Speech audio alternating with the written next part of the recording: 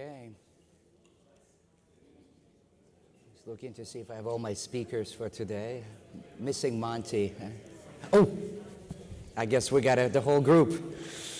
Excellent. Okay, so it's 7:30. So why don't we start? Uh, my name is Rich Herman, um, and I'll be moderating this last session. Uh, so welcome everyone. Uh, so we're going to continue. This is our fourth and last session for the day, followed by Q&A. Uh, we have four speakers. Uh, the title of this last session is Disruptors and Innovation, which is really about looking into the future. And as one of the speakers mentioned yesterday, disruption can be a really good thing. It, it doesn't have to be a bad thing, right?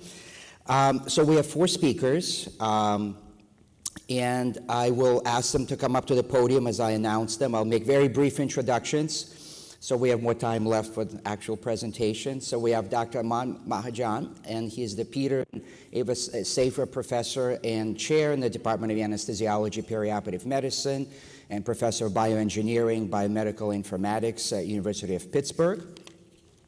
Then we have uh, Dr. Piyush Mathur, um, and he's an anesthesiologist and intensivist at the Cleveland Clinic, and he is the quality improvement officer uh, at that institution. We got Monty Mythen, um, and he is uh, emeritus uh, professor of anesthesia and critical care at the University of London. And among his many other titles, he is the chair of the evidence based uh, perioperative medicine EBPOM um, initiative. So uh, the first uh, presentation is on remote patient monitoring, the hospital at home. Then Dr. Mathur will talk about can an algorithm support safe uh, practice. Then Do Dr. Mythen will talk about professional sedation as solution or sedition. And finally, uh, our fourth speaker is uh, Dr. Patricia Trish Fogarty Mack and she's vice chair for quality and uh, safety at Cornell and associate professor of clinical anesthesiology. And she will talk about NORA, appropriate uh, metrics, current and future. So she'll be our last speaker. So I'll have our speakers come up uh, to the podium and, and we'll start with, I'll go sit, I guess. I'll sit, yeah, I'll sit right here.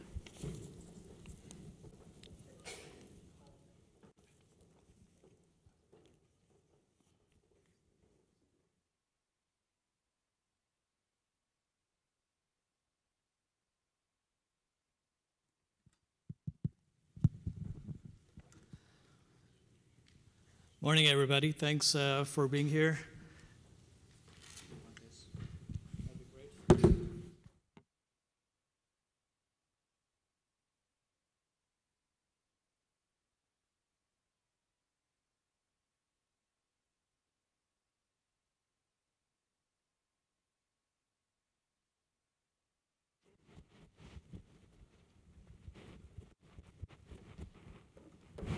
All right. Uh, I want to talk briefly this morning about uh, remote patient monitoring, just pro provide a broad overview of this latest, latest trends in this um, practice of medicine, practice of healthcare, and talk a bit about um, hospital at home concept and where RPM is being used in, uh, in that setting as well as in other clinical settings. Uh, just my disclosures, uh, my research, my lab is funded by NIH. Much of this work is in developing uh, biosensors, wearable technology, um, you know, AI-embedded um, algorithms. And um, I've been involved in formation of some uh, companies in medtech space, and I serve as a partner in VC firm and also help guide uh, our investments uh, and diligence for UPMC Enterprises, which is our venture capital and um, uh, innovation arm for UPMC Health. Uh, I will not talk anything about what my work is, and uh, but focus on the broad space of remote patient monitoring. So all of you know that we are in a uh, era that's seeing a technology re revolution as well as an increase or rise in consumerism. And if you, and you, I'm sure you're all aware that companies like Google, Apple, Microsoft, Verizon Uh, they're all wirelessly connecting, training, speech enabling, video linking, and analyzing our patients in the consumer space. And each of them is actively trying and is getting into the healthcare space as well. In fact, Best Buy acquired Current Health for $400 million. It's a company that makes laptops, sells laptops, which is directly in healthcare now, and many of our organizations are actually working with Current Health uh, and other organizations like those for uh, using RPM, remote patient monitoring, as well as building hospitals at home.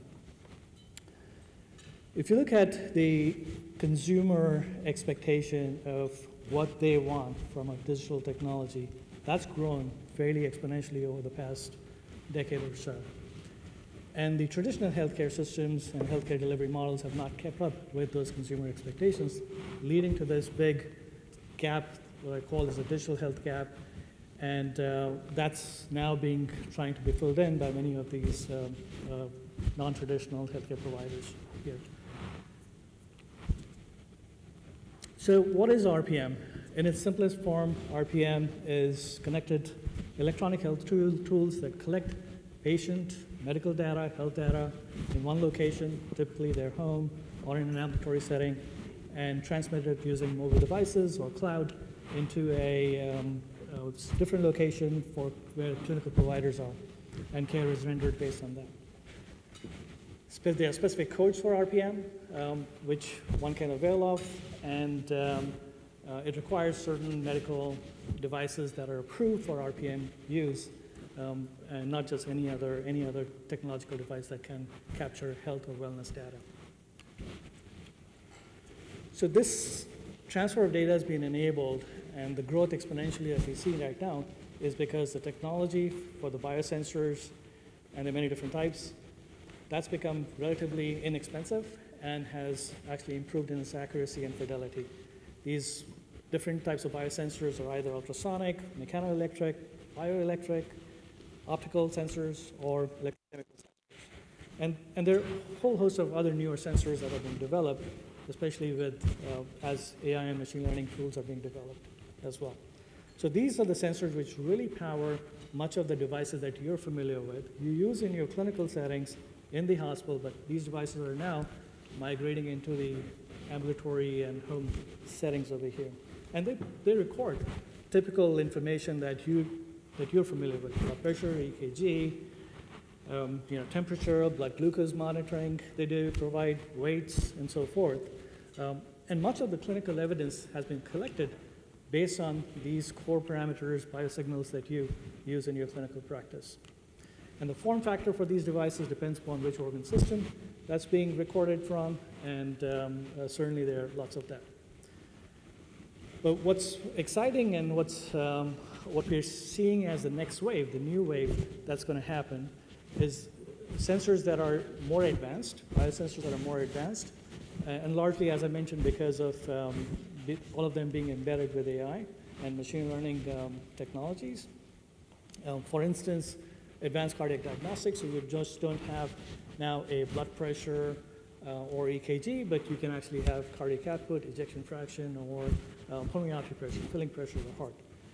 Um, sensors that are uh, used by electronic signals and actually can measure and record your, uh, if you're going to have uh, gastric dysfunction or intestinal or abdominal problems here. By the way, all of these sensors are actually now in clinical use. Most of them have gotten FDA clearance or are in the process of getting FDA clearance. So, so they, they're, all, they're already all in clinical trials and clinical use. Cell phones that can actually record blood pressure, you put your finger on them, and it gives you your blood pressure here. With the advent of 5G, uh, much of and, and wireless, uh, faster wireless, much of the computing for AR and VR devices can be done now in very small miniaturized frames, so you don't need big bulky headsets that you were familiar with. And then certainly um, uh, AI-based technologies that help um, with analysis of uh, you know, voice as a biomarker, and that can help with um, uh, treating mental health, diagnosing mental health problems and treating them. So as you can see, there's, there's certainly, it would be a, a growth in application of where these sensors can help improve healthcare. and as you can see over here, this has created a uh, explosion in this ecosystem of, um, of companies that are, um, are in the healthcare space, and each one of them has its specific focus. And these, this ecosystem continues to grow rapidly. Now, a fair question to ask is, is there a, um, just the euphoria that's there in digital health companies? Do actually patients want it, consumers want it, uh, or not? If you look at uh, the growth in the recent years, and certainly aided uh, and accelerated by the COVID-19 pandemic, uh, the, the, the projected growth in consumers who are actually transferring their data, their health data, medical data to, um, to clinicians or, uh, or hospitals uh, is actually projected to grow to about 70 million uh, healthcare users over the next few years. Even today, about 28, 30% of consumers of healthcare that use healthcare are actually transferring their data at least once a month using internet. And sure enough, uh, um, COVID-19 pandemic also accelerated the use amongst clinicians um, across all specialties, uh, not so as much in anesthesiology and surgery, but all other specialties, uh, specifically radiology, cardiology, uh, psychiatry as being the leading ones. Um, in the two years of COVID pandemic from 2018 to 2020, uh, there was actually a threefold increase from 25% to almost 80% uh, in the use of telehealth. And RPM, which is a, the enabling technologies um, in, in the wider telehealth space, uh, that, that actually doubled during this period of time. Um, since the COVID uh, restrictions um, have been eased, the use of RPM telehealth continues to be fairly high. It's come down from its peak, but still continues to be many-fold higher than what it was in, uh, compared to the pre-COVID levels. So initially, the gains that were made in the RPM space were largely on the managing chronic healthcare conditions such as obesity, diabetes, and hypertension, and so forth. More recently, and especially COVID pandemic showed that managing acute care um, conditions was greatly facilitated by RPM and remote technologies. Um, more recently, also, hospitals and healthcare uh, systems are investing in using RPM technology for acute uh, heart failure management, infections, and many other acute conditions. Um, there have been some evidence for use in the post-ICU managing of patients post-ICU once they're discharged from the ICU, and more recent evidence on use of this technology in the post-surgical uh, space and peri-op space as well. I'll share some evidence to that. When you look at health systems um, as a health system that have actually implemented RPM as, as large programs within them, systematically um, in, implemented uh, RPM programs within their system. Um, and a recent research report on that, 37 of them, when they were queried, 30 of those, 38%, and these are all systems that represent, or many of them are represented here, 30% actually reported reduced admissions, 25% uh, cited improvements in patient satisfaction, and 25% reported cost reductions. And there have been several uh, papers, individual papers, which also show similar results on that. So why is it that RPM has been so successful? And one big reason is it actually allows fairly comprehensive management of healthcare with patient fully engaged in their own, own care.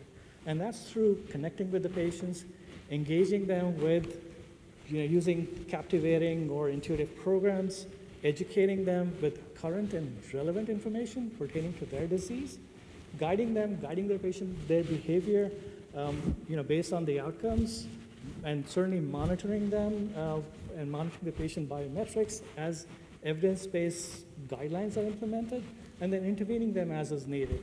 So it's a very comprehensive management program with, with patient being involved in their care on a day-to-day, weekly basis.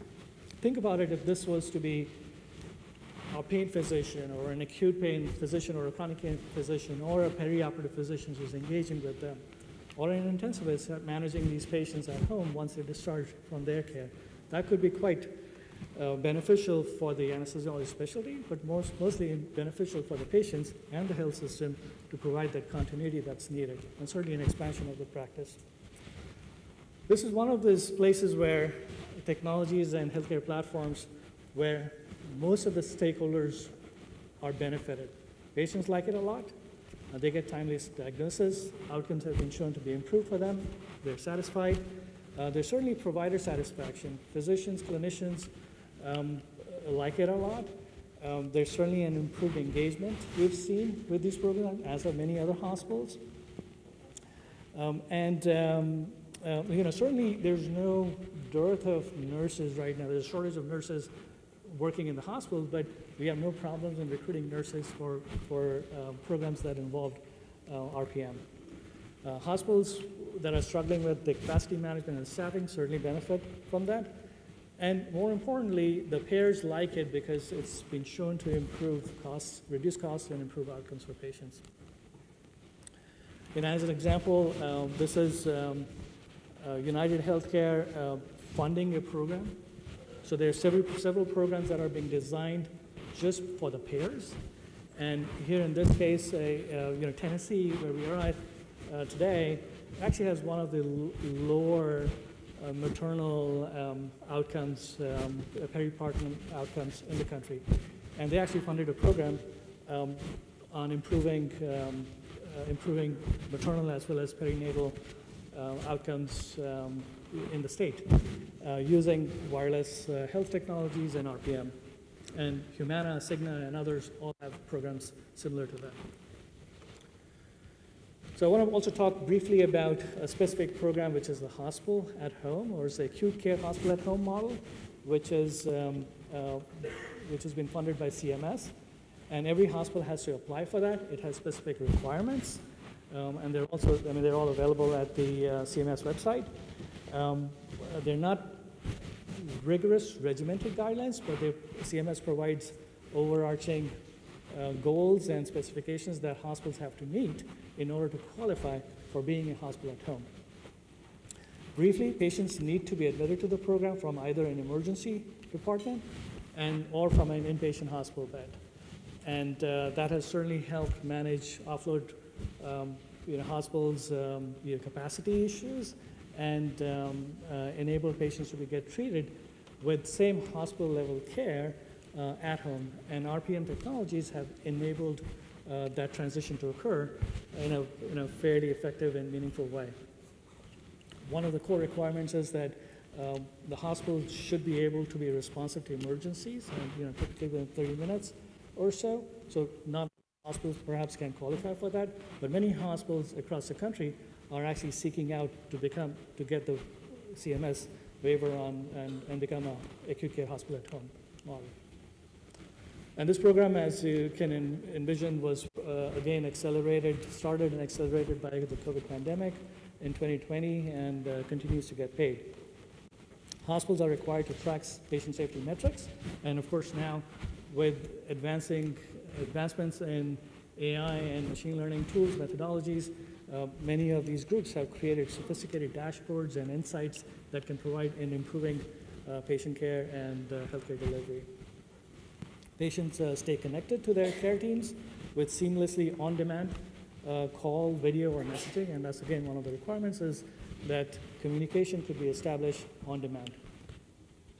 And then finally, the hospital at home programs do require that many services can be delivered at home. So clinical services can be delivered at home, and um, uh, many of these services are, are listed over here. And hospitals are seeking partnership with either local groups. They can have, they can certainly build their own services, but they're also in this ecosystem that's evolving, partnering with local healthcare to deliver more effective, timely care to patients at home.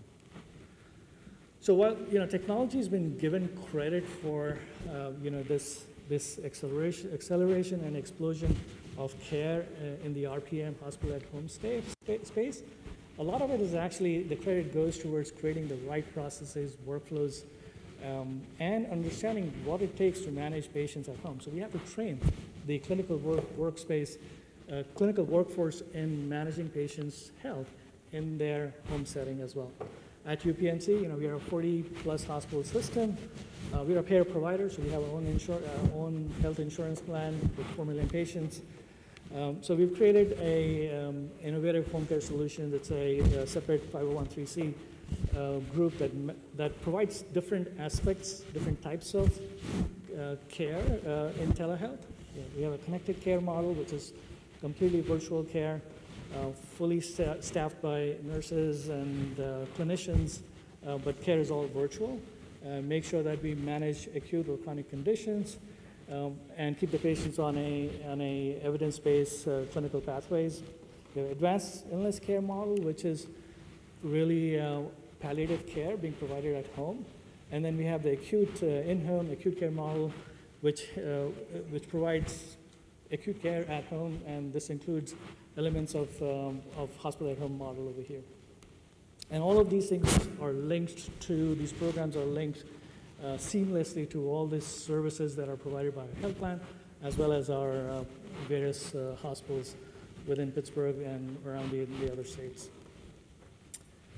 So as I mentioned to you, developing the right workflow is really important. For instance, um, in our in-home acute care model, patients, um, uh, a, pa- a patient provider um, or a patient uh, discharge triggers uh, a in-home care model, and within three hours, um, our our teams uh, in the um, in the RPM space will reach out to the patient, establish clinical contact, make the clinical assessment in their home, um, advise on what different uh, RPM technologies are needed, what tests are done.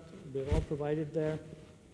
Patients are always connected to, um, to clinicians, um, and um, uh, much of this thing is managed by nurses, hospitalists, and perioperative physicians for the surgical patients.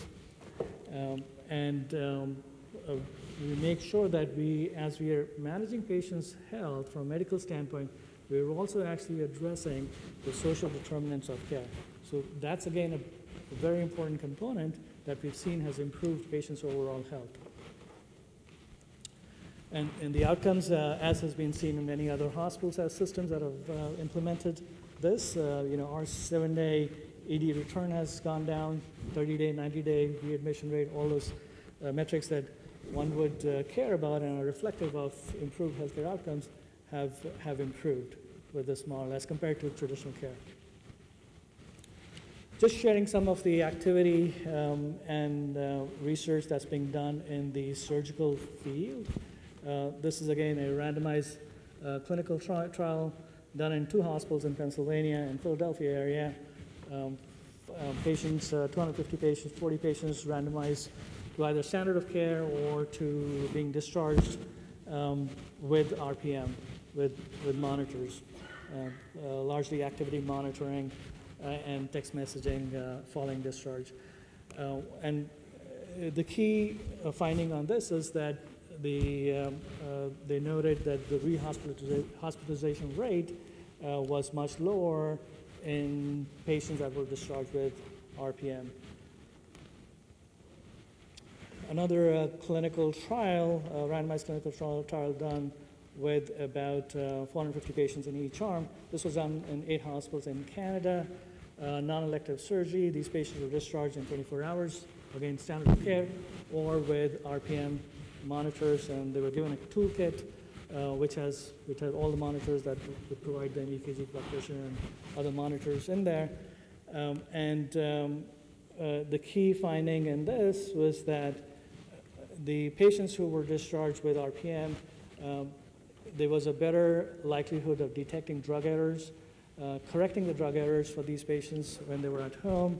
Um, certainly, um, these patients um, uh, um, had much less pain um, as it was getting more actively managed by, um, by RPM um, and uh, virtual health technologies. Anesthesiologists have uh, spent more recently a focus on being um, use of RPM uh, and decision support in the hospital settings, and I'll share some data on that. Um, much of this is in early validation trials, uh, small cohort pilot studies, showing that the RPM technologies used in hospital settings uh, how accurate they are as compared to wired monitors. Um, and uh, the key finding over here is that while the heart rate monitoring EKGs, pulse oximeters, they're fairly close to what uh, wired monitors are. Um, the respiratory monitoring uh, rate may not be as accurate. Um, it's reasonable, but it's not that accurate as compared to um, um, inpatient monitoring. Uh, there's some drop in wireless signal connectivity that exists in some of these monitors, and, but all of these things are going to get improved very soon. It's another study which uh, is in the process of happening, uh, where they're using a different type of patch monitor which provides oxygen saturation, respiratory rate, heart rate, body temperature, and blood pressure all in one sensor, uh, being tested in a post-surgical setting um, uh, to see its efficacy and effectiveness. Um, a more recent study using AlertWatch as a decision support system, and many of you are familiar with AlertWatch. Uh, this was uh, done in uh, the Boston hospitals with um, close to 4,000 patients. And observational study, uh, but the investigators designed specific algorithms for alerting clinicians um, uh, with patients who were on post-surgical on floor, uh, recognizing that on-floor, on-ward monitoring is not frequent enough, especially with the nursing shortages that we see. And their uh, observation was that these sophisticated smart alerts were able to um, provide clinicians the right information at the right time, leading to uh, improved care management. I mentioned many of you are familiar with AlertWatch. Again, this is a, uh, a decision support system, a remote monitoring uh, system that um, consumes information from uh, hospitals, um, ORs, physiological monitors, uh, certainly being implemented on the wards, as I mentioned, also on uh, labor and delivery floors in the ICUs, different settings. Information comes in real time from physiological monitors, from patients' EMR, laboratory results as they're been happening, and from the AIMS, and uh, provides, um, um, based on the um, uh, inputs that um, are, are provided by the clinician, can guide uh, and observe um, uh, patients' well-being and you know where the different body systems are, physiological systems are, and provide feedback to the team on that. Uh, there's several studies in different institutions that evidence is being um, you know built upon. Uh, more recently, um, there has been um, use of AI and computer vision in the operating rooms, and this involves um, again consuming information from multiple different sources uh, in real time, uh, completely de-identifying them. In fact, they actually completely create ghosting of all individuals, so you can't recognize who the person is, and um, um, and certainly uh, acquiring information from uh, activities on the anesthesia personnel as well as on the surgical field, and um, and, and creating insights into the team's performance as well as individual performance, and um, you know providing guidance in real time or or, or afterward. You certainly dashboards which can provide this information um, uh, to enhance uh, anesthesia, surgical team performance, safety, and training and efficiency over a period of time. Uh, this um, was developed out of Canada with a group called Surgical Safety Technologies um, and uh, being implemented and used currently in many hospitals within the United States. One thing I would actually mention is that while anesthesiology and surgery, we are all focusing a lot on using RPMs within the hospital space, um, much of care is getting shifted from the hospitals into ambulatory settings, into the offices, into the home. I think we need to be cognizant about that and how we actually evolve as a specialty and, and be there where the patients are moving, the care is moving. It's not that hospitals are going away, it's just that much of the care is being transferred into many of these low acu- acuity settings. Challenges and limitations remain, and those are listed over here, uh, as would be, would be with any new enabling technology.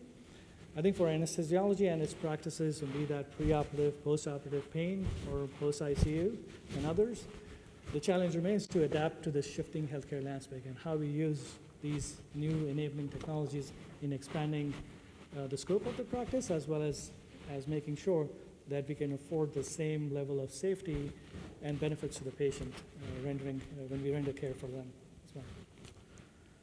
So uh, there's irony and uh, humor in, in this, um, and we don't know where this thing will eventually go, but certainly um, um, digital health technology is going to be a big part of our practice for the future. Thank you very much.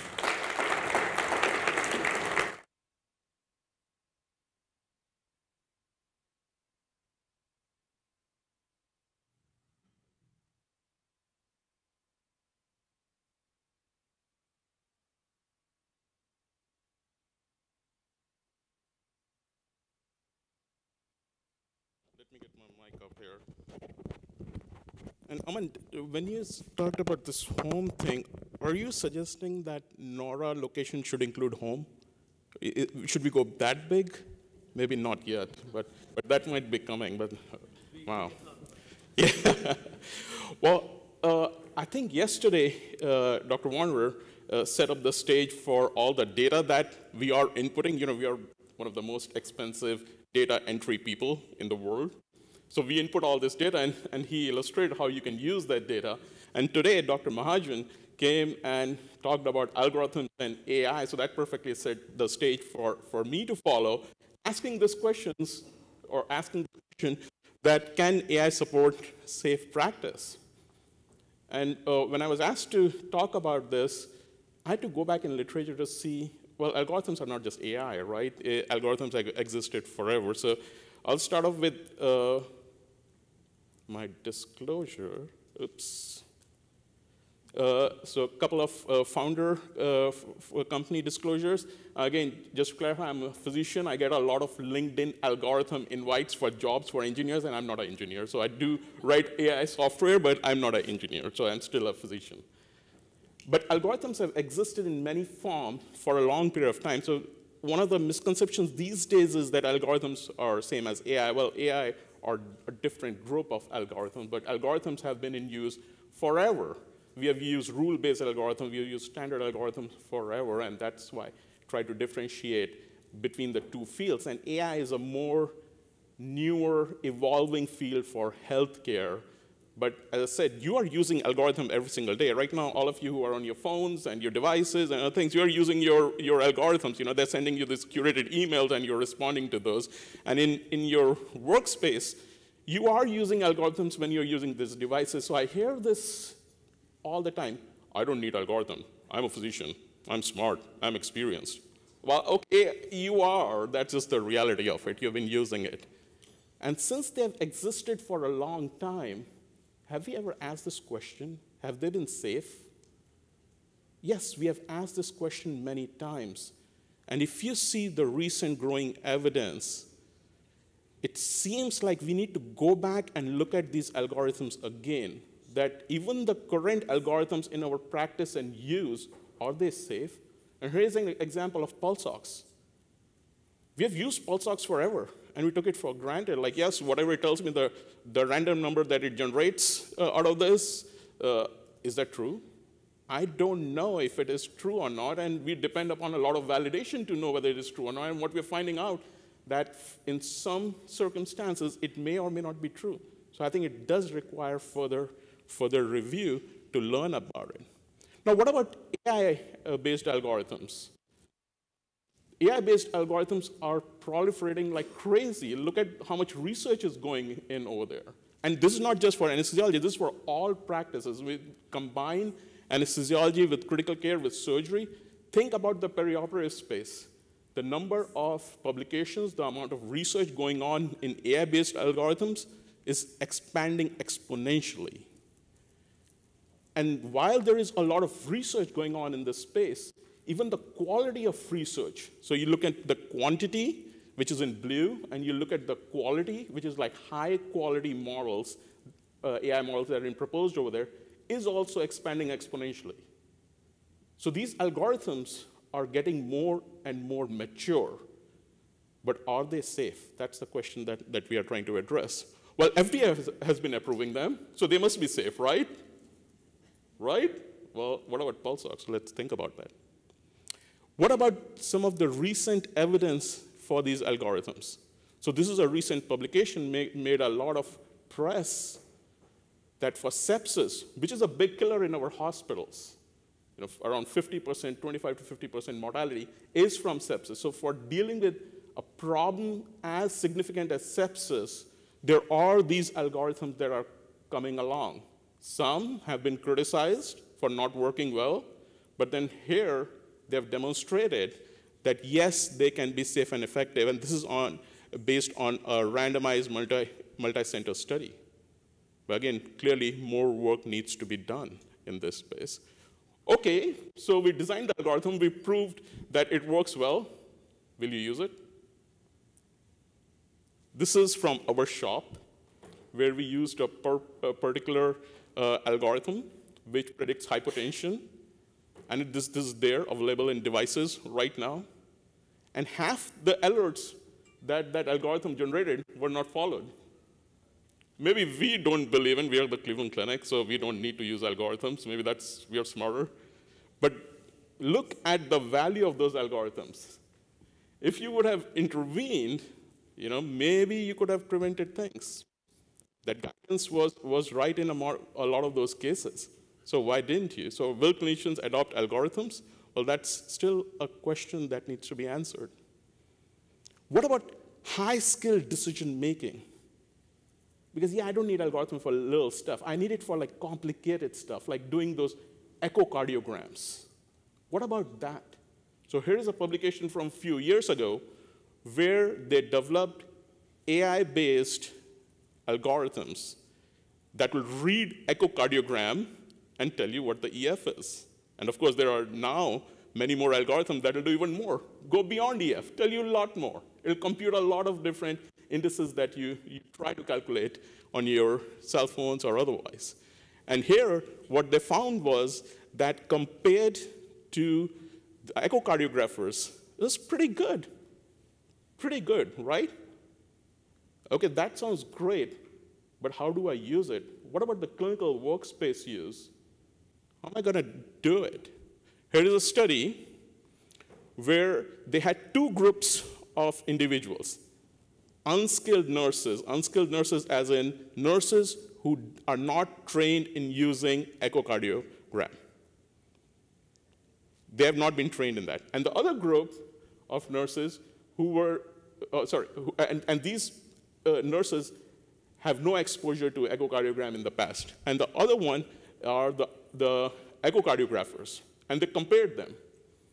The nurses who were not trained in use of echocardiogram, they were given AI-based echocardiogram or devices. And they were pretty good. So you can have nurses do echocardiograms, and they will generate pretty good results similar to your echo techs. Now think about all the workforce challenges that we are facing. Think about real-time data, real-time information that you need, and think about democratizing skill sets. And if you're worried about algorithms, well, the robots are coming too. So on the right side, what you can see is a deep learning algorithm that is embedded in an ultrasound that helps the robot get you IV access. Now think about how many times you have to poke some of these patients. Maybe that robot can help me with the, those difficult IV challenges.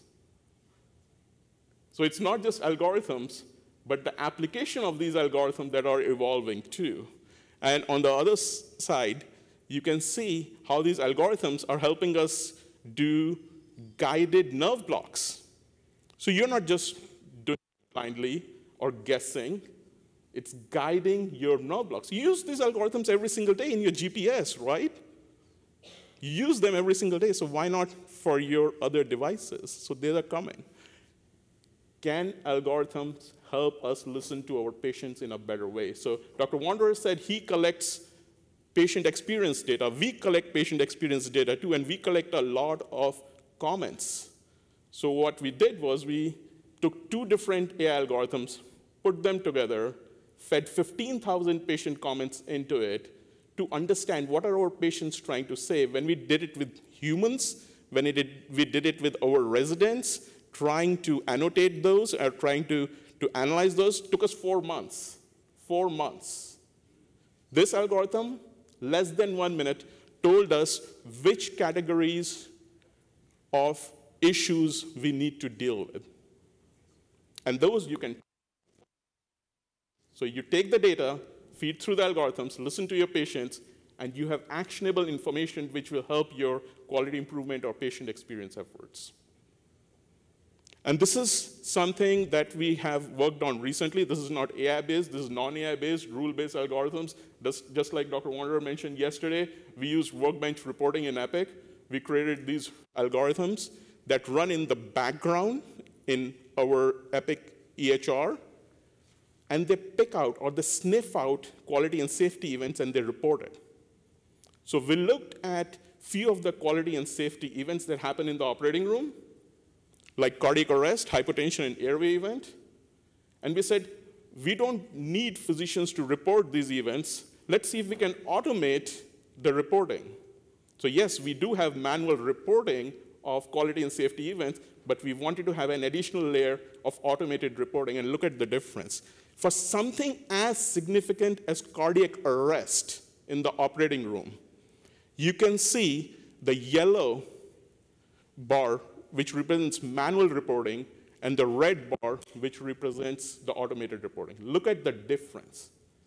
So now you can take the data, have your algorithm process it, convert it into meaningful information, and I can then help provide better quality of care in those targeted areas. So think about NORA. You are having all these events, but manually people are not necessarily reporting them.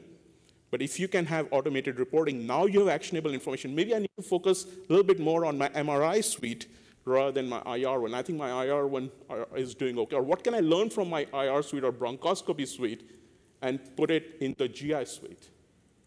So think about how you can make your, safe, your practice is safer using some of these algorithms. But what it needs is the vision and leadership, and that's the case I tried to make a few years ago. Don't be afraid of AI. Don't be afraid of all these hard, hard or difficult terms. There are a lot of publications that are coming out. I think we need to understand that. There are a lot of these devices and algorithms that are coming in our clinical space. We, as somebody who are responsible to our patients, need to make sure that we are engaged, we are educated, and we validate these algorithms. So even if you don't understand a lot of this, we should make sure that we do that safety check before we adopt these. And that's what we put forth a few years ago over here. And uh, I've been happy to be a part of few international frameworks that have come along about evaluation of these AI algorithms so that we are not just mindless adopting them, but we are meaningfully analyzing them, meaningfully evaluating them, all the way from the concept phase to the deployment, maintenance, and further, so that we are getting the right information, we are making sure that these algorithms are working correctly, and helping us and our patients. So a couple of publications that have come about proposing these frameworks uh, that are there in use. And what was exciting for me to see is that while we are evaluating these algorithms, going back to this hypotension prediction index, the editors uh, for this particular article suggested the use of the evaluation framework that I just mentioned, the Decide AI one, that we should use frameworks like that. So already our specialty is on the right path, asking the right questions, and trying to determine what we need to do to make sure that these algorithms that are providing with great information are providing uh, the right information and for safe care. So in conclusion, these algorithms have been here, are here. Uh, validation is extremely important. You know, clinician leadership, working with our engineering groups is extremely important. Mindful application of evaluation frameworks is the need of the hour. And can algorithms help deliver safe care? That's the question I want you to think about and, and try to answer. And the larger question that still remains in my mind, whether they can help save lives. Again, it's up to us, it's upon us to try to answer that question. Algorithms are not going to do it by themselves. We have to design those solutions for our patients. So thank you very much.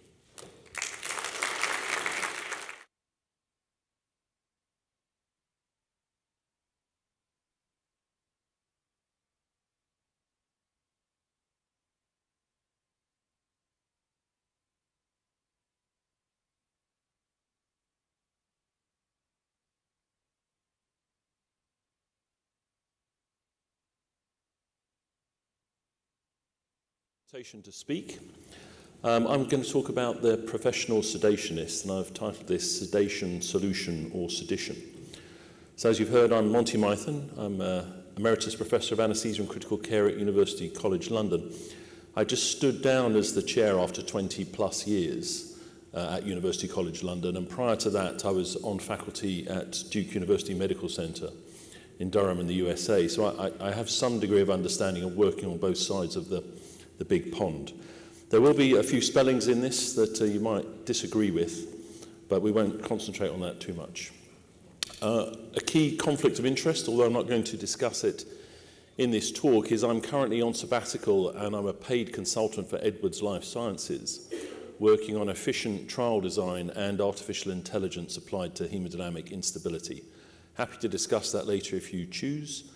A couple of other key conflicts, although I don't think they're relevant to this talk. I'm the founding director of evidence-based perioperative medicine, and I'm still in that role, which is celebrating its 25th anniversary this year.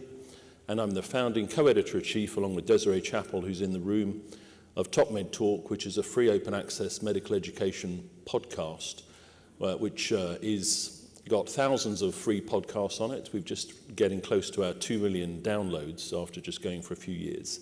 And there are a number of podcast recorded on there about what we're discussing today, including the sedationist. So, what is sedation? Well, here's a, a couple of definitions taken from an article in BJA Education. Procedural sedation supports the delivery of investigations and procedures that patients might be otherwise unable to tolerate, and I'll show you an example in a moment. Whereas general anesthesia is characterized by a lack of response to surgical stimulus minor surgical procedures supported by cessation still require effective local regional anesthesia.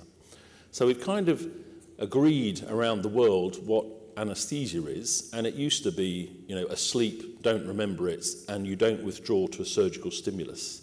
That's now been modified a little bit, and some of that might be territorial to say if you're doing this regional thing which stops you withdrawing, it's still an anesthetic. Here is a, a, another quote from that article that I referred to, uh, which refers to another article. This will make sense in a second. An international consensus statement was deemed to be necessary as we get into discussions about what, what constitutes sedation. And in this article, it says that the uh, procedural sedation was defined as to facilitate a diagnostic or therapeutic procedure with a target state in which, and this is important to remember for this talk, airway patency, spontaneous respiration, protective airway reflexes and hemodynamic stability are preserved while alleviating anxiety and pain. So if your airway isn't patent, it's not preserved, and you're not responsive, and you're not hemodynamically stable, you're not sedated, you're something else, if you see what I mean. That's very important. These careful, and the final thing is from Rob Sneed, who wrote this article and has been party to writing many of the international guidelines on sedation. He's a professor of anesthesia, now emeritus in the United Kingdom. These carefully crafted phrases reflect a clear separation from anesthesia and avoid territorial claims for particular professional groups. Now, in the sedation room, there is a small herd of elephants that I will refer to in passing. And I see some of you grinning in the room already, saying, Be careful, Monty. You do realize you're in the USA. So here is um, somebody who may or may not be sedated under, undergoing an endoscopic procedure. So they have a gag in their mouth. The, uh, they have uh, some end-tidal CO2 monitoring. There's somebody else in the photograph holding a syringe full of a clear liquid with a big needle on it. So this probably isn't real, but it's, you know, we know what we're talking about here. And the challenge we have with sedation is we've agreed what an anesthetic is, you know, sort of you're asleep, you don't remember it, and you don't withdraw to a surgical stimulus. We've modified that to include some regional stuff, so you don't withdraw to a surgical stimulus. Now we have to define sedation. And whether you look at the US guidelines or you look at the UK guidelines or the European guidelines, broadly speaking, sedation is defined as something that's called procedural or, uh, sorry, um, conscious or mild, or moderate or, or deep sedation, however you want to phrase those three things.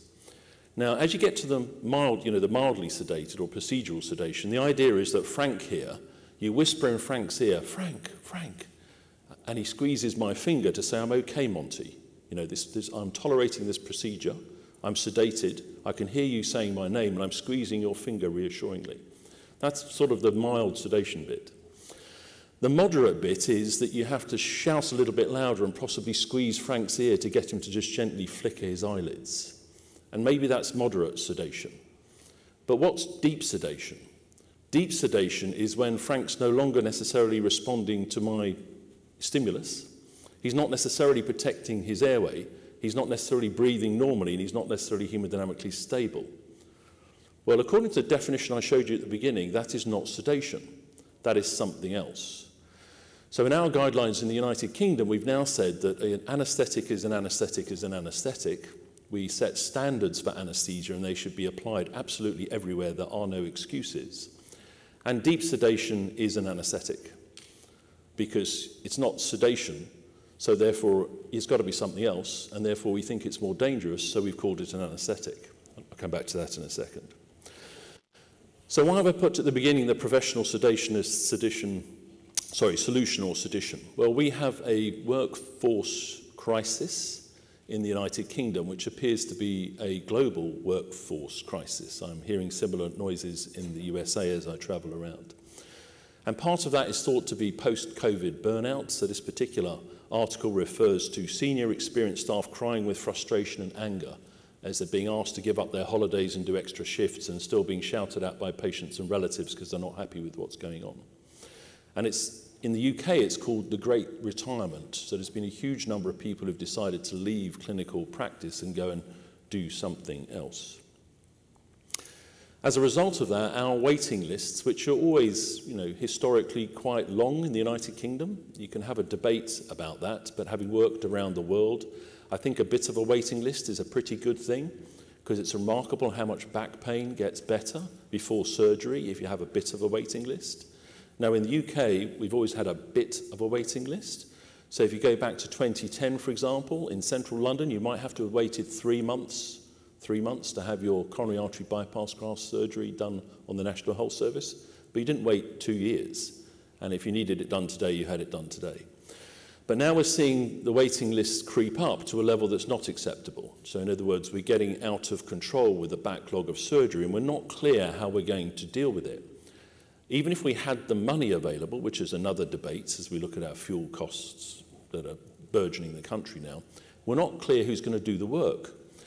So this is from the Royal College of Anaesthetists, and until relatively recently, I was a council member of the Royal College of Anaesthetists and the national clinical lead for perioperative medicine. And the Royal College of Anaesthetists in the United Kingdom uh, is appointed by Royal Charter and reports the General Medical Council and is responsible for training, education and professional standards. It also produces some guidelines, but it's responsible for standards. In other words, the stuff that dictates the, the law, the absolute requirements. So here's the report of what they believe is the UK. I think my battery might be going. And they look at the workforce in 2020. The sort of executive summary is there's currently a shortfall of 1,400 anaesthetists in the UK. Now, we're about a fifth to a sixth of the size of the USA. We have a population of about 60 million, so you can scale these things up and down potentially, um, depending on who's doing the counting. But at the moment, we're so short of anaesthesia providers that we're anticipating that's going to result in a delay of an extra million procedures. So that gets into the national press. Well, what are we going to do about it? Well, we've got to do something very dramatic because by 2040, we're predicting that we'll need 25,500 anaesthetists.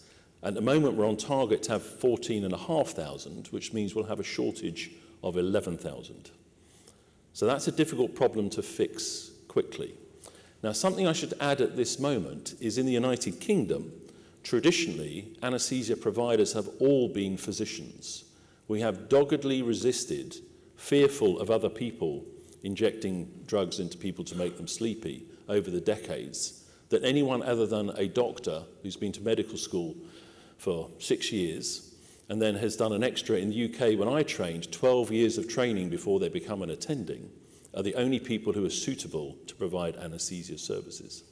Well, we've had a wake up moment recently, and for the first time ever, we've accepted the concept of having non physician anaesthesia providers because we can't see of any other way of solving the problem and the challenge that we face. And we've embraced that with enthusiasm, but what we've decided to do is to go down the physician anaesthesia assistant route, not the nurse anaesthetist route. And the reason for that is not that we wouldn't love to have nurses doing anaesthetics alongside us, but we don't have enough nurses. So we don't want to take away from that pool either. So we've decided to train science graduates who are not in medical school or nursing school to become physician assistants anesthesia who will be supervised, at, sometimes remotely, by physician anesthesia providers, what you call anesthesiologists, we call anaesthetists. And the reason we've had to do that is, as it stands at the moment, two thirds of hospital patients are touched by an anesthesia provider. Look at the broad spectrum. I need to change, is my mic going in and out? Do I need to change the battery on it? You're okay? Okay. Um, we look at out of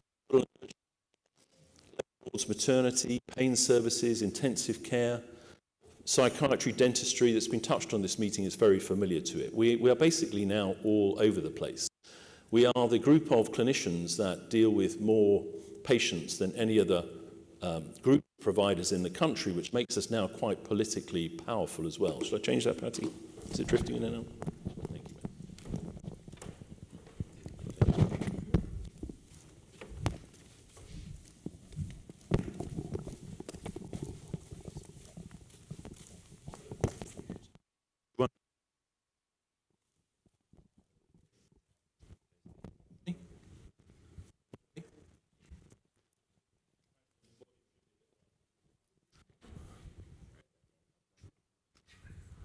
Mic? One, two? Okay, great, thank you. I think it's interfering with the other mic. I think it was the mention of non physician anesthesia providers, they turned the switches off. Um, so, so let's get back to the sedation challenge, because one of the reasons there aren't enough of us is because we've been drawn heavily into the sedation world. Because our rules say that not only should we be around if the sedation's a bit deeper, but we should be the sort of responsible officers for the provision of the services. So let's look here at just a, a selection of, this is a systematic review of recommendations for routine gastrointestinal endoscopy with regard to sedation procedures. And you can see from this abbreviated list of the number of standards that are available in this particular meta-analysis how clear we are about the challenges of sedation. So all of these different bodies have a slightly different view on what's okay. Here's a summary of recommendations of individual capable of administering sedation. And you've got there moderate and deep sedation. This is just a snapshot. And the top one says moderate sedation can be administered by a nurse who's directed by a physician. The second one down, a different guideline, said should be administered by a practitioner other than the endoscopist. When you get to deep sedation, it said should be administered by an anesthesia professional, which you might as well say it's an anesthetic deep sedation.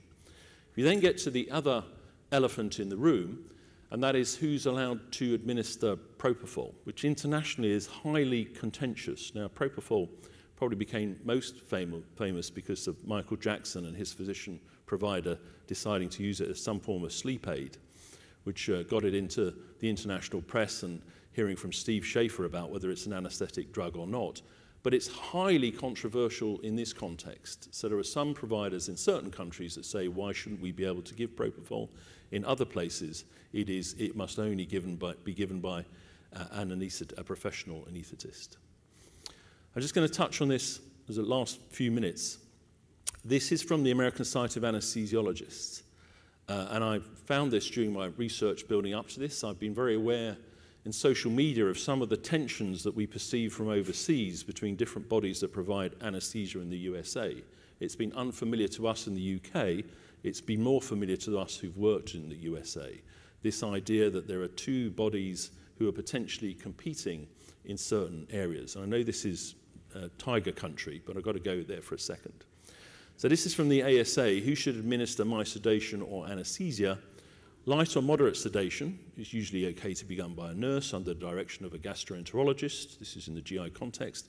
But if it's going to be deeper, it's important you get a physician anesthesiologist because you need that person who's a medical doctor who has extensive education, training, and experience to adjust medication during deep sedation and intervene to assist your breathing as needed. And that reads to me as a territorial statement, and that's kind of where we were in the UK for the fear of our territory being invaded. But as we heard from the first case that was presented at the opening of this meeting, there was nothing about the education, training, and experience that stopped the individual that was responsible for that case for looking on their iPhone and showing pictures of their grandchildren to the other people in the room. Medical school didn't help them doing that. It was all down to the vigilance of the individual. It's all down to the training experience of the individual. That's what it really matters. So, how do I see the UK perioperative workforce in the future? This is a personal view. I think the department that I've just stood down from in the near future, I think we're actually there, will have three forms of professional providers. It will have perioperative physicians. So, as of a number of years ago, in my national lead role at the Royal College of Anaesthetists, the General Medical Council concluded that people who receive as doctors receive their fellowship of the Royal College of Anaesthetists, they are uniquely trained as perioperative physicians and other people who choose to be in that space must match their training. But that role is to deploy all of your physicianly skills you've accumulated over the decades to look after patients from contemplation of surgery to full recovery. Now, some people within that will say, I choose not to do that holistic role. I choose to be the traditional anesthesiologist or anaesthetist. And within that, there will be people who are subspecialized, as they are at the moment cardiac, obstetric, maxillofacial, etc., etc. Not to undermine the importance of that, but we no longer believe that that's an exclusive physicianly skill. There's going to have to be some gradation within that to recognize the fact that there's a complexity level that you get down to, that you can take somebody who's trained for a shorter period of time, that we need to deliver that safely. And then we have below that the professional sedationist. We've piloted that for a number of years and our professional sedation team at the hospital that I left is led by somebody who went through that alternative training route. And our quality of sedation has gone up and up, and our safety has gone up and up because the professional sedationists are really, really good at it because it's what they do every day of the week. They're supervised by alternative providers who accept the responsibility of that care, and that, in my opinion, drives up the quality and the safety. I think the drugs and devices are coming to make this a lot easier and a lot safer, and we've been hearing about that in this meeting. I think the education, training, and standards are there. And in the UK, as I said, we've taken this approach whereby sedation standards are written by the Academy of Medical Royal Colleges that includes all specialties. So, whichever area you come from, the Joint Academy of Medical Royal Colleges, if you read that, it sets the standards for the mild and moderate category and when it gets to deep sedation, it says see anesthesia. In the anesthesia standards, it says an anesthetic is an anesthetic is an anesthetic, and deep sedation is an anesthetic. Back off. So that's the territory defined. So there's my final thought the UK perioperative workforce of the future. I look forward to discussing it, and thank you for listening. I apologize about the mic difficulties. Thank you.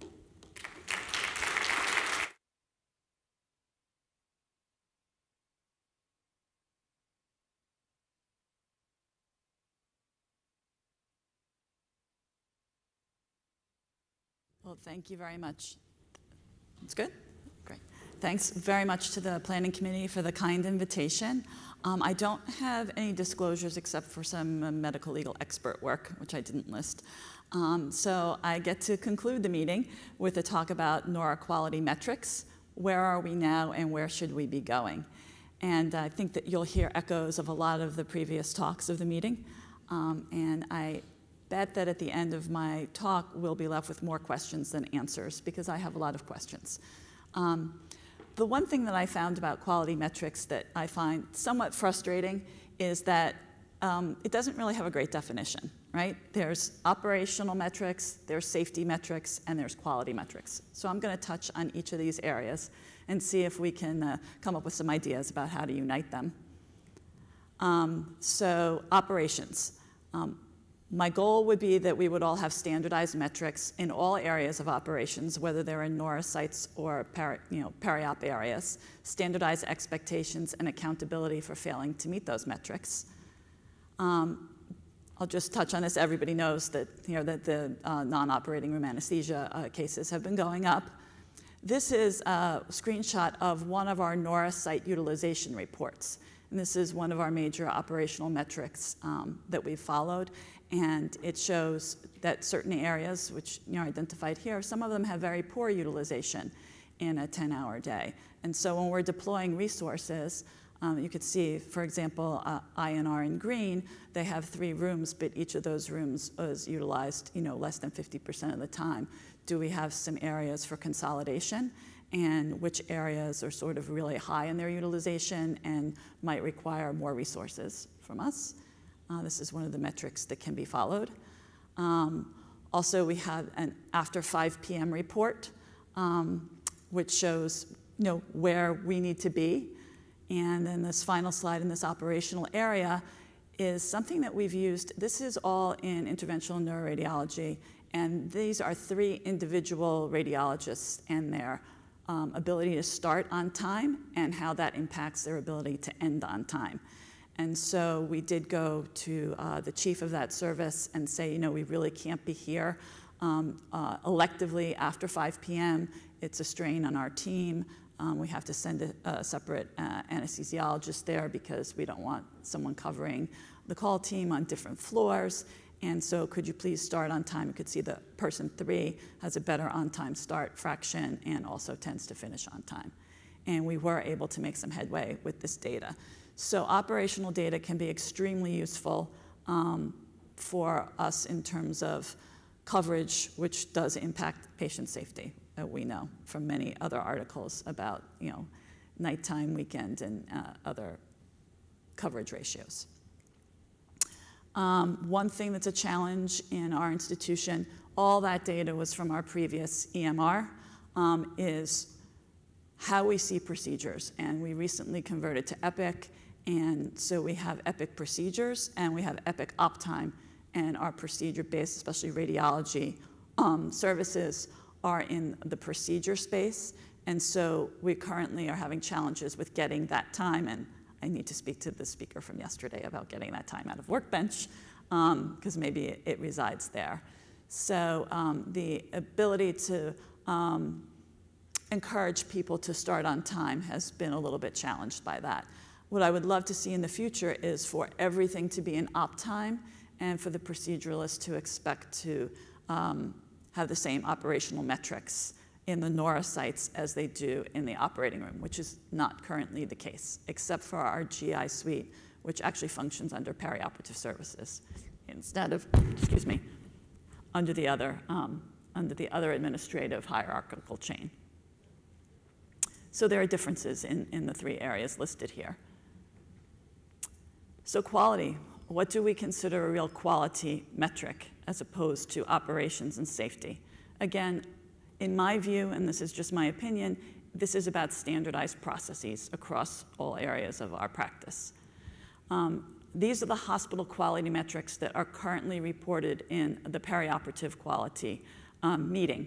And, and for me, it's frustrating because a lot of it is vendor monitoring, um, obviously, infection prevention and control and attire compliance. These are definitely important things, but I'm not exactly sure that they're anesthesia quality metrics.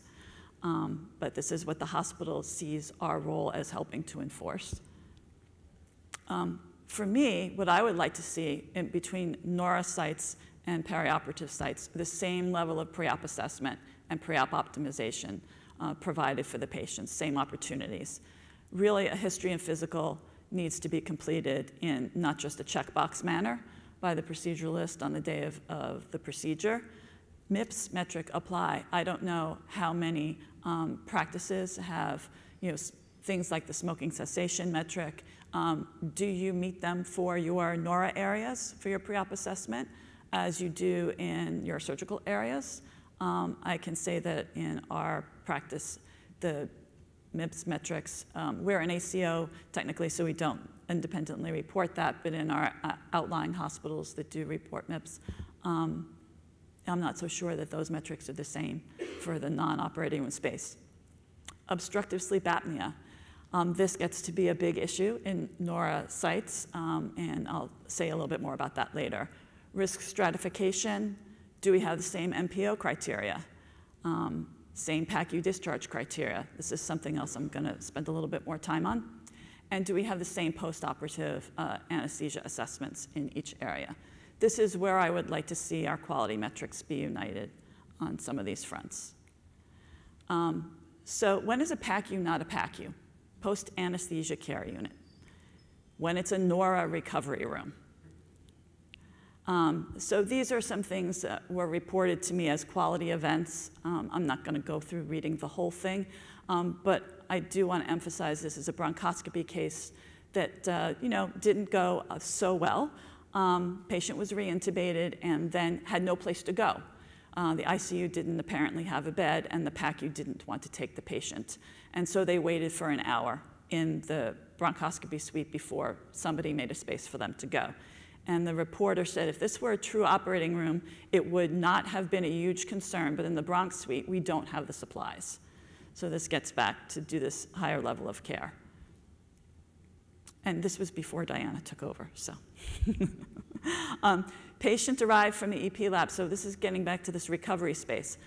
Arrived, and this is from the floor, from the um, um, cardiac floor. Patient arrived from the EP lab hypotensive with systolic blood pressure 60s to 80s, heart rate 40s to 50s, uh, accompanied by the cath lab RN.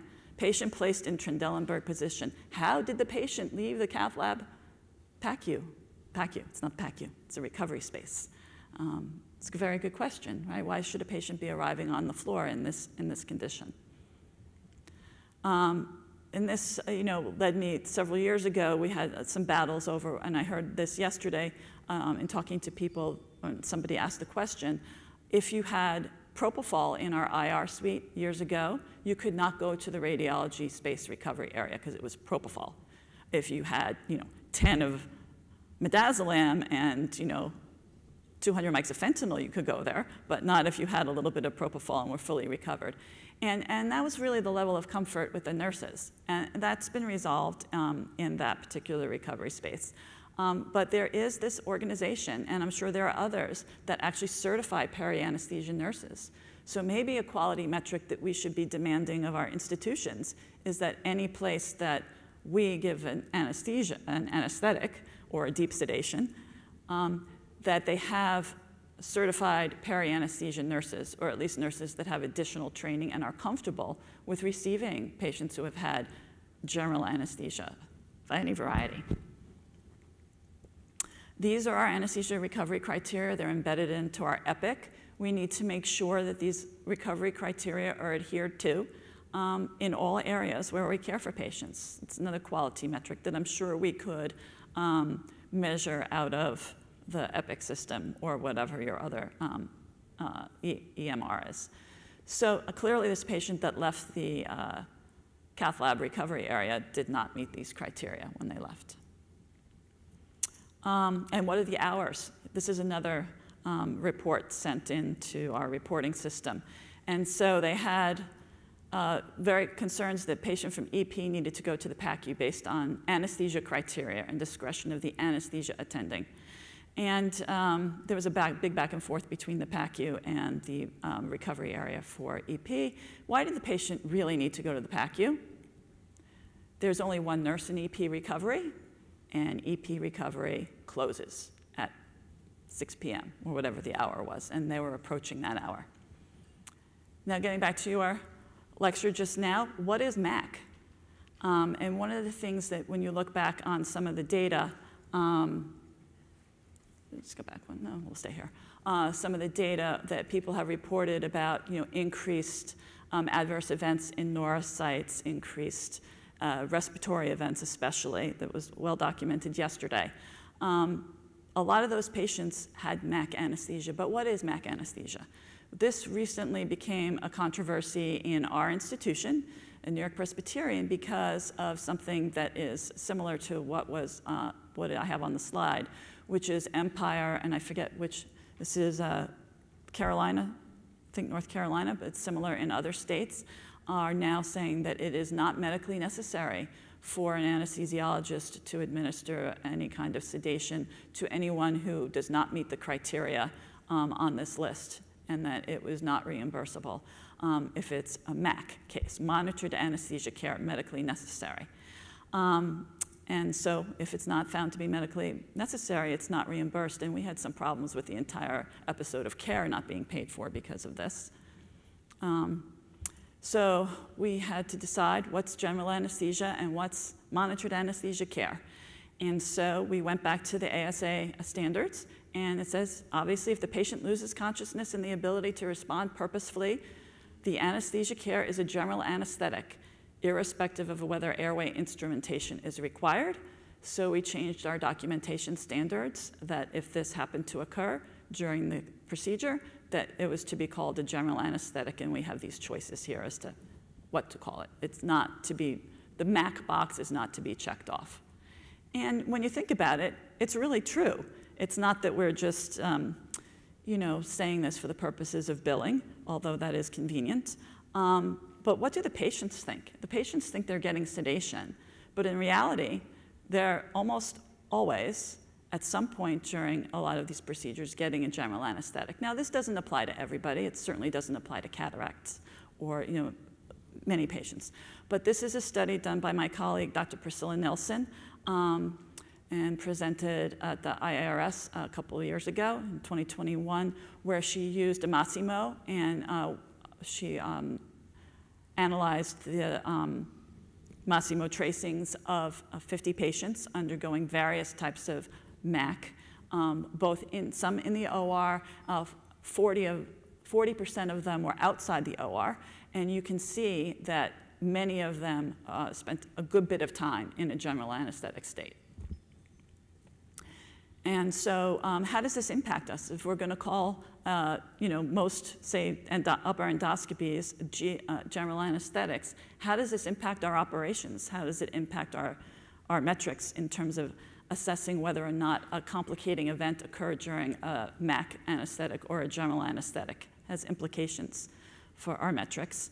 Um, but the first, the first problem that we identified was that we have a, a OSA policy where if an OSA patient undergoes a general anesthetic, they have to stay for three hours. So, you know, the week that we implemented this, you know, this is a general anesthetic, then, you know, post-operative nursing was like, oh, well, the patient has to stay for three hours, even though they were completely recovered from their dose of propofol. So there is uh, part B on this. If considered uh, sufficiently recovered and safe to be discharged, they can be discharged uh, by the PACU attending. Um, but, you know, this is sort of an unintended consequence, something we have to think about, our policies and procedures. Um, so safety, moving on to safety, which is, and you know, I think you'll see, you know, the original slide was a Venn diagram. There's a lot of overlap of all these things, and maybe my definition of what fits into quality and what fits into safety isn't exactly your definition, but this is something that I think um, we ought to address and discuss. So for me, the safety is really the standardized metrics. And so, you know, there are national trends, as was described yesterday, um, morbidity, mortality, system safety, and non-operating room uh, anesthesia. This is why we're here, right? We're all here to improve patient safety in this space, whatever we decide the scope of the space is. Um, and so one of the things that I think is important in, in terms of this, you, you, could consider this operational um, as well, but what kind of support do we have to ensure patient safety when we are um, in non-operating room areas. So this is something that I found uh, years ago. Um, when we're building new rooms, we always try to put, you know, in, in addition to the anesthesia machine, the space and the, a chair to sit on, you know, the amount of support services that we need. And that includes anesthesia technicians. And so I don't know if you are all aware, they have a society and they have recommendations for their coverage ratios. So MRI offsite uh, places should have one tech per area. So I don't know who has that. We don't have it yet. Um, we have one tech for all the NORA areas. They will run around like chicken with their head cut off the whole day. Um, assisting us. But it is important for safety that if you need a fiber optic, someone can bring it to you. If you are having a problem with your machine, someone can respond quickly who can help you address that. Um, and so this is, this is a safe, to me, it's a safety metric. Um, do you have this ratio in your institution? Um, and how do we handle complications and adverse events? So the criteria for what is a significant event should be the same everywhere. The criteria, and I think that the use of um, you know, the EPIC automated data to find the unreported metrics is very important because you know, when you're offsite and something happens, you know, you're so busy dealing with it that sometimes you, don't actually remember to report it. Um, and unlike if you're working next to me in an operating room or down, you know, down the same corridor, I might be aware of a kerfuffle a few rooms down. I might not know that it happened at all in a NORA site if I'm not there. Um, and I think we need to really look at outcomes. And these are the outcomes that I see, you know, these are just some of the outcomes. Uh, and one of the things that's not here, um, you know, DVT prophylaxis was mentioned yesterday in NORA sites, that's sorely lacking. Um, database review, percentage of cases, what percentage of MAC cases are, are really general, how's our temperature management, infection control practices, all these things. Are they the same? Can we measure, um, can we get real data on these important outcomes um, from our EHR or from our reports? Um, this is our comparative data from a couple years ago, and so obviously we want our metrics to be the same um, and not to have any uh, outliers. I picked the good year to show you. Um, and then we also have one thing that I was thinking about specifically in preparing for this meeting and uh, uh, the need to collaborate with others. We already have a responsibility for beta blockers in the STS uh, CABG um, metrics. Um, should we be contributing or should we be looking at and getting data back from our NORA colleagues on things? All these metrics that I mentioned, should we be following them also? And for our work in NORA sites, these are sort of the ones that we always look at for perioperative. Um, so if we're going to look at things for our colleagues in the perioperative, in the NORA spaces, what are some of those? Stroke metric is one, right? Um, one of the uh, articles that I, I, found in preparing for this said, you know, the current definitions of uh, GA and MAC are heterogeneous. This is a, a, paper trying to distinguish whether general or MAC is better for uh, someone coming for an embolectomy. And even the, in the you know, uh, neurology literature, they're like, well, the MAC and the general are very confusing. But one metric is a door to recanalization, door to skin puncture. These are our times, right? Door to skin puncture is pretty much our time. We own that time. And what can we do to make that as short as possible to contribute to a better outcome for the stroke metrics and collaborate? Uh, similarly, GI metrics, this was mentioned yesterday, the adenoma detection rate is, has been identified as the single most important quality measure in colonoscopy. Um, and so there's a whole GI literature about whether or not you should have conscious sedation, moderate sedation, who should be giving the propofol, et cetera, et cetera. Should we be using propofol? Is the rate of complication worse or better with propofol? Um, there's arguments and, and, data to support either, either position. But this said, the, the failure of conscious sedation is uncommon, occurring in less than one in four colonoscopies. Well, it was 22% in the study, and I didn't think that was uncommon. Um, but the risks of failing conscious sedation are female gender, trainee involvement, younger age, and the need for adjunctive medications. So maybe these criteria in our pre-op assessment or our involvement in the pre-op assessment for each uh, area would identify people who really do need our, our services and uh, decrease this failure rate. Um, and so sedation improved in this study, sedation improved uh, it doesn't look like much, but it's statistically significant, both the adenoma detection rate and the time uh, to get to the cecum. So um, this study supported, and the, and the propofol was extremely, um, extremely uh, well controlled in this study. This, this was the protocol. Um, and so future directions, another area is patient-centered data. I was fascinated by what you said about getting uh, what looked like Press Ganey data organized or patient experience data organized. Um, the patient experience is not about making the patients happy over quality. It's about safe care first, high quality care, and then satisfaction. But we really don't have great patient centered data, at least in my practice, to really help us know what their real outcome is. I mean, we don't even know if they had nausea and vomiting when they go home after an IR procedure. Um, we just don't get that information in a, in a usable fashion, and that's something else I'd like to see. So what are NORA appropriate metrics? Um, again, it's a Venn diagram. I think we can have discussions about what goes into which circle, but there's definitely a lot of overlap. I think we need to define shared metrics with our colleagues and coordinate together to make sure that our patient outcomes are the best that they can be.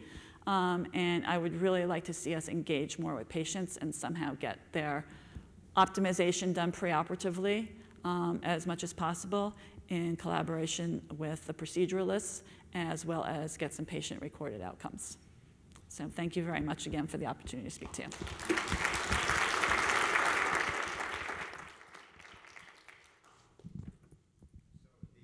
Um, most important session we're going to have is from 10:30 to 11. So I want to try and get back on time because I know people will be leaving uh, to catch uh, flights. So maybe we'll spend 15 minutes uh, for a Q&A session, then go into our breakout session, and we might shave a little bit of time off our break. So we'll start that last session promptly at 10:30. Uh, 15 minutes for your Q&A. Any questions?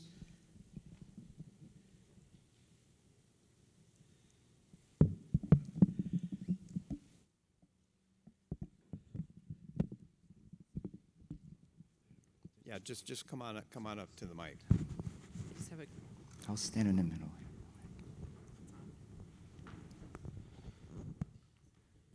Just a quick question for Dr. Fogarty Mack. Um, when you switched over to GA, um, how upset were the patients for getting a GA bill?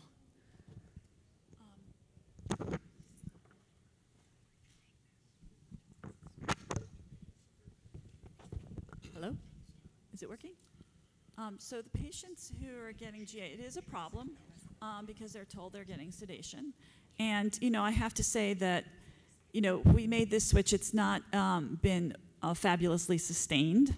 Um, and I think once we get a bigger penetrance on the insurers, um, and not just Empire that are denying this, it will become sustained.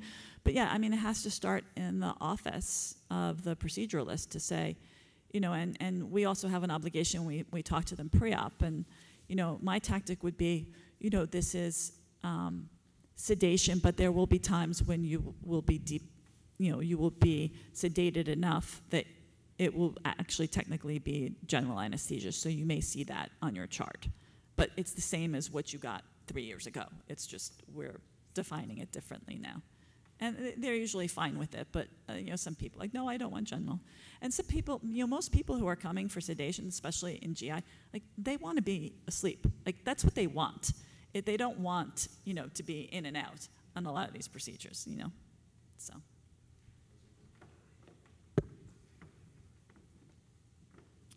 Uh, Just a a question on the AI. Uh, Are there any certifying bodies or entities that look at the um, product that's being um, used uh, to determine outcomes? It's kind of a black box for most of us. Is there a third party that looks at them and says, yes, this meets certain standards? Yeah, I think I think that's a great question. And uh, as I showed, there are FDA-approved algorithms, and for different places, there are different regulatory bodies that look through that. But again, some of those regulatory standards have minimal benchmarks, right? So you have to be cautious about that.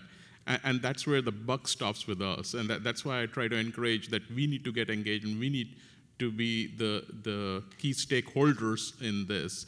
Just because somebody approved it, you know, it may not work well later on either, just like we're finding out about other devices. So yes, there are certifying bodies that are there are government agencies that approve this, but still it's incumbent upon us to ask these important questions, not only after one approval, but, but also as we use them. And as we, as AI algorithms get more traction in healthcare space, we are learning a lot more about implementation challenges. And that's where we need to work with the industry, we need to work with other partners to improve upon them. And that, that's the, the request that I have for engagement.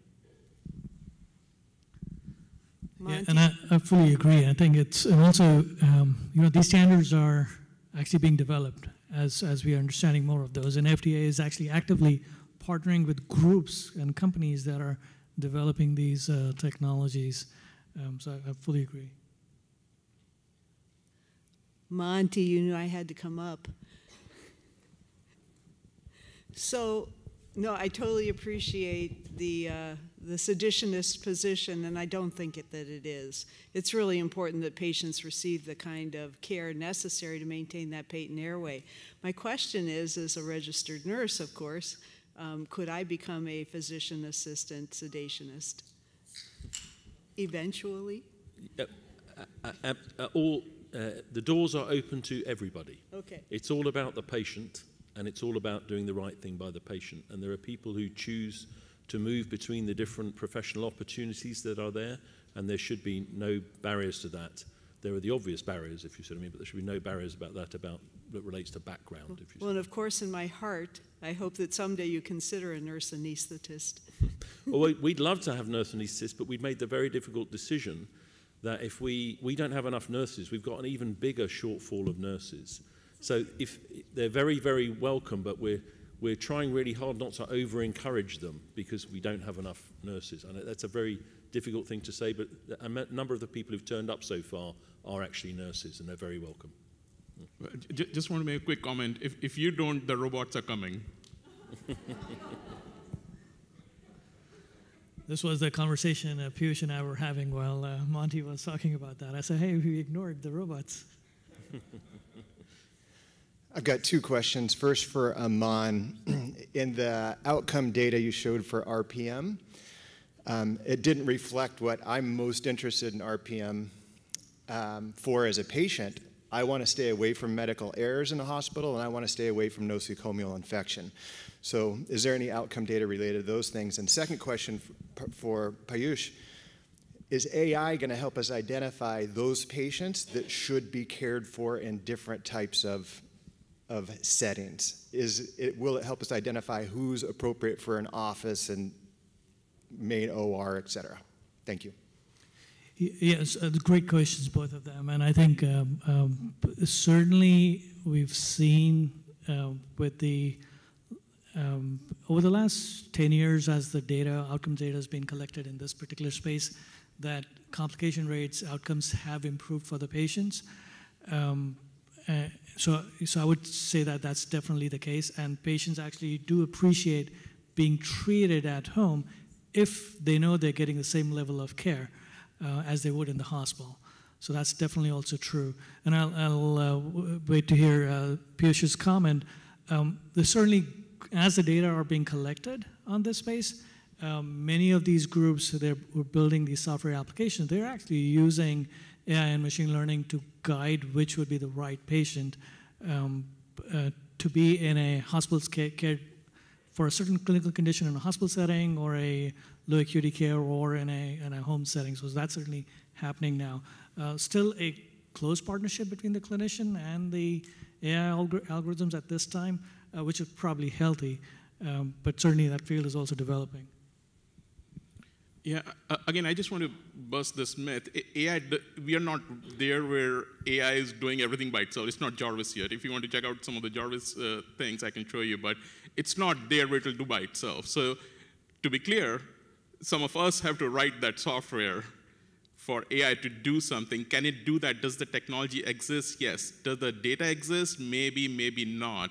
So that's why the importance of data capture, you know, just like Dr. Wanderer was saying yesterday, the, the tools and the technology exist, so it's incumbent upon us to pose those questions and develop the solutions. The technology exists. Uh, thank you for your lectures. Um, uh, for Piyush, when you, you gave the date on cardiac arrest and then the hypotension uh, for 15 minutes, have you implemented uh, sort of a best practice alert system uh, within in that computer algorithm? And then if so, have the outcomes changed? And what is the clinician's response potentially to those best practice or alerts? Because we get a ton of alerts, right? So I, I, guess I would ask, what has been the outcome of that data? Has it dr driven uh, practitioner change? Yeah, that's, that's a great question, but I'll go back to what I'd said. Uh, we made a switch in our EHR to Epic uh, in the last few months. So the data that you see is from that. And right now, I want it to run so that I can validate that data first. As we have the team that is set up to look at the data, analyze it meaningfully, and see what change we need to make where. But the most important thing is make sure you validate that data first. Because just because it's giving me these numbers doesn't mean it's true, right? And the numbers that I showed you, I val we validated those. Those are real numbers. We, we have all the incidents and cases. It's really impressive that somebody doesn't need to put it as an event of cardiac arrest. Even if you give one, one milligram of epi or you put in some, some uh, comment over there, we can do a string search and pull it off that the patient had cardiac arrest. So we can do all that stuff, but that needs to be validated before you implement a change. I, think you make a really great comment. I was talking to John last yesterday. We have SlicerDicer at our, at our institution, and one of our AI, our computer uh, uh, providers put out this data saying uh, the highest to lowest redose rates for labor epidurals. Turns out that mine was like in the top three of all the highest redose rates. So it's kind of like, well, my epidural's not working. Nobody really thought about validating this. Yeah. So I went back and actually talked to the nurses. Turns out they prefer to call a handful of, of providers at night more than other because of the responses that they get. So my, my actual redose rate, I believe, was because I, I was easy enough to wake up no matter what time of night. So, so I, I think it's really important what you said. Somebody behind the scenes, before administrators get involved that don't have a lot of wherewithal to understand this data that's coming out from AI and large databases, really to synthesize the information, really look very specifically on how it's being collected, and then translate it. Because a lot of folks in, in uh, outside of clinical medicine don't understand some of the stuff that we're doing. Yeah, the, so, the last thing I want to build is you. another BPA that fires up. Yeah. That's the last thing I want to do. that, yeah, that's a great example of no good deed goes unpunished. Huh?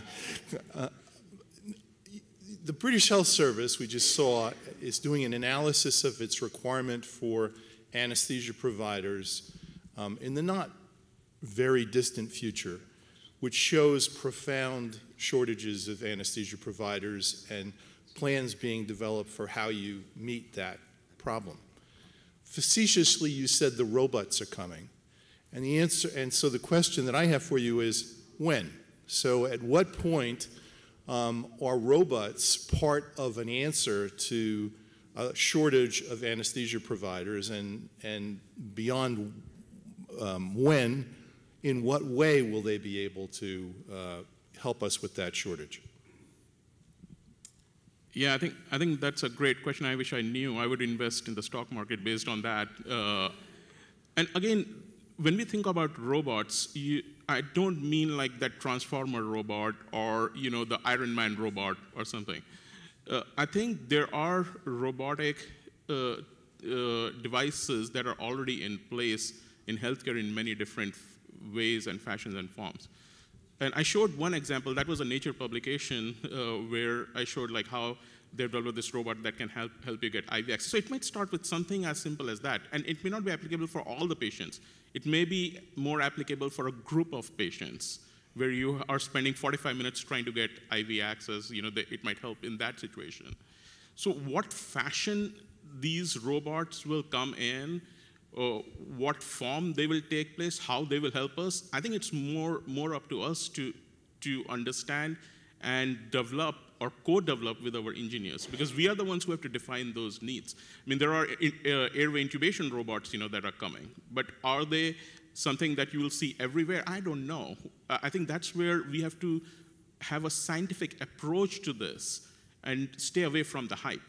Uh, I'll give you uh, this statement. Geoff Hinton, who's the father of deep learning uh, out of Canada, uh, many years ago, I think it was 2016 or so, he said, you should stop having uh, radiology training programs because AI will take over.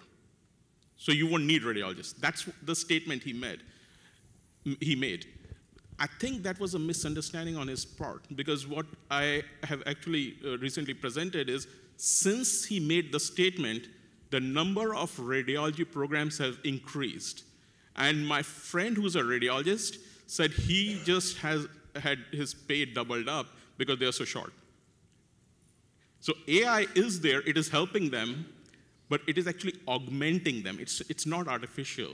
You know, it's more augmentation. It's where it is going to help you. The same way the robots are going to help you in some things, but we have to be mindful where. We have to guide that. And, and that's where I think it's very difficult to predict when or, or uh, where they will help us. Thank you. So uh, we're going to finish uh, promptly at uh, 9:15 and then go to your breakout groups. Uh, I'll ask. Dr. Urman has a uh, question, but I'll ask a rhetorical question. It doesn't require an answer. Uh, the whole purpose of this session was to get us thinking about where we should be five years from now to improve quality and safety. And I wonder how far away we are from a future where we had good predictive analytics or AI to say patient X should get procedure Y in site Z, so to speak, to match up that. Patient X has a 54% chance of uh, intraoperative MI, so you're going to the hospital. And then to eliminate uh, low value care or to augment uh, good care with a future of the hospital at home with biosensors, where there would be a central repository where we'd be monitoring seven or eight different uh, data sets, or maybe 15, and we would notice a dip on day three for a certain data set, and we would do an intervention uh, based on that. So, so that's kind of the future that I see uh, in medicine, but certainly for a lot of NORA type type procedures. So, uh, if you want to make a comment, that's fine, but I'll, I'll turn it over to Dr. Urman for the last uh,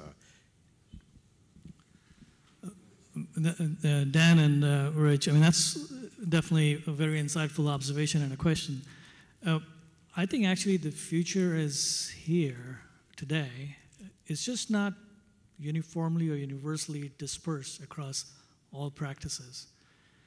And, and I think the, the bigger question, though, would be which of these practices, which, which are seemingly futuristic, but as I shared with you some data, they're actually in use in many of our practices today and in, in, in, in, many of the centers that are represented here. Which of these things will scale, scale up to be become universally used practices? And I think that's where you know, we as a specialty and others need to develop the evidence that's needed to, to show that you know, those outcomes uh, are improved and they actually matter to the patients and they can actually reduce costs. I think doing things in small pilots, that's great, that's a start, but we don't move to the next step of seeing if they can be scaled up as a universal solution. Um, and many of these technologies actually can today can be scaled up for the reasons that I mentioned before, because they become inexpensive, they become, they've actually democratized care, and given the aligned interest between the patients and the payers and the healthcare providers, I feel those are the technologies and solutions which will are likely to get scaled up. So I, would say the AI is here. It's in your Echo device, it's in your ultrasound, it's in your GPS, it's in our quality safety program. We are analyzing our data using that. So the AI is here, the robots are coming. A quick question. I want to thank you, first of all, for a wonderful panel. My question is based on a conversation I had with someone yesterday over lunch about patient triage tools. So, you know, in a lot of large academic places, there are as many non-OR cases, if you combine anesthesia non-anesthesia cases, we do OR cases, right?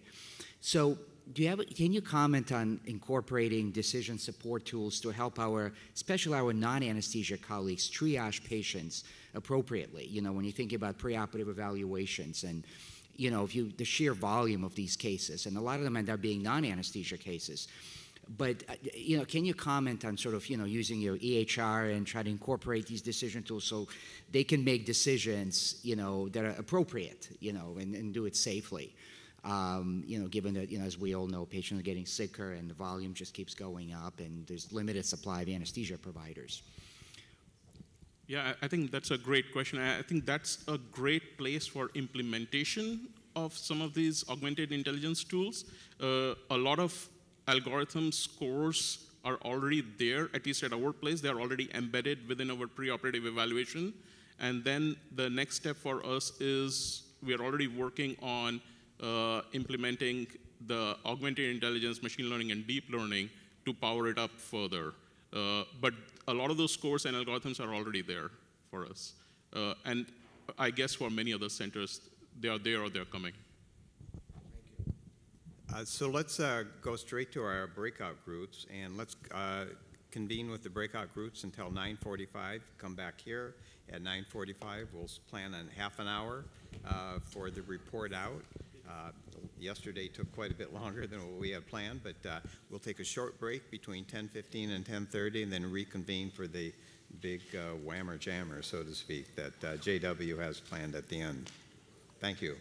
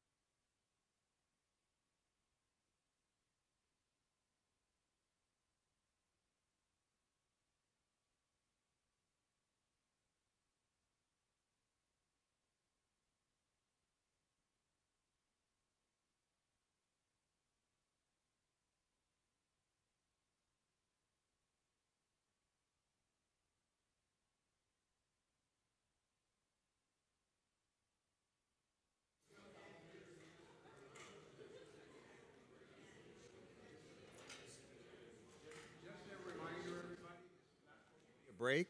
Uh, we have limited time for the breakout sessions, so please convene in your uh, breakout uh, sessions. So thank you.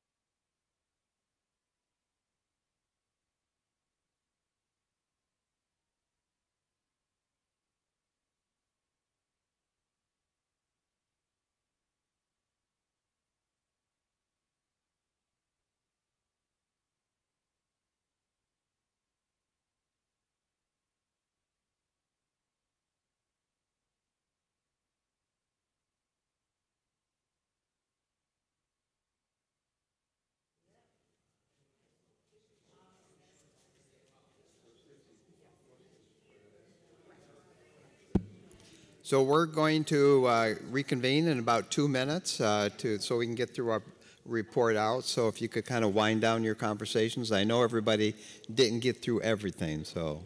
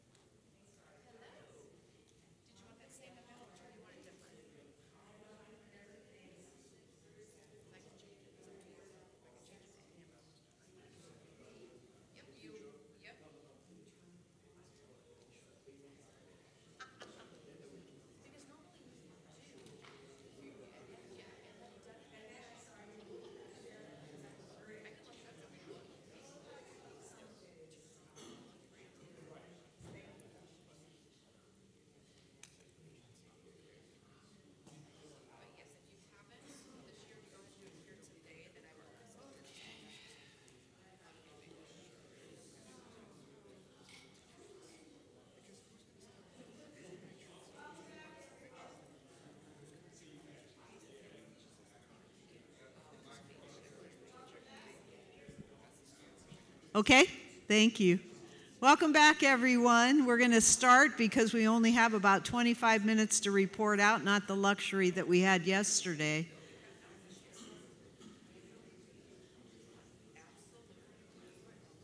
And perhaps I'll just take moderator's uh, privilege and start. Since I had a group, I met with um, several um, folks, Anita and Aaron, virtually. They've been with us um, online, and we're so grateful. And they've appreciated all that you've um, contributed. Wait, I got to start my own timer. All right. I got to make it smaller so I can see what I'm doing. Mm-mm-mm. So today we're starting with the staff and teamwork. Um, the virtual group today, um, we were looking at number three and number four and wondered if the uh, ACLS PALS certified should be separated from ongoing team quality improvement. I'm going to have to go stop them, okay? All right, guys.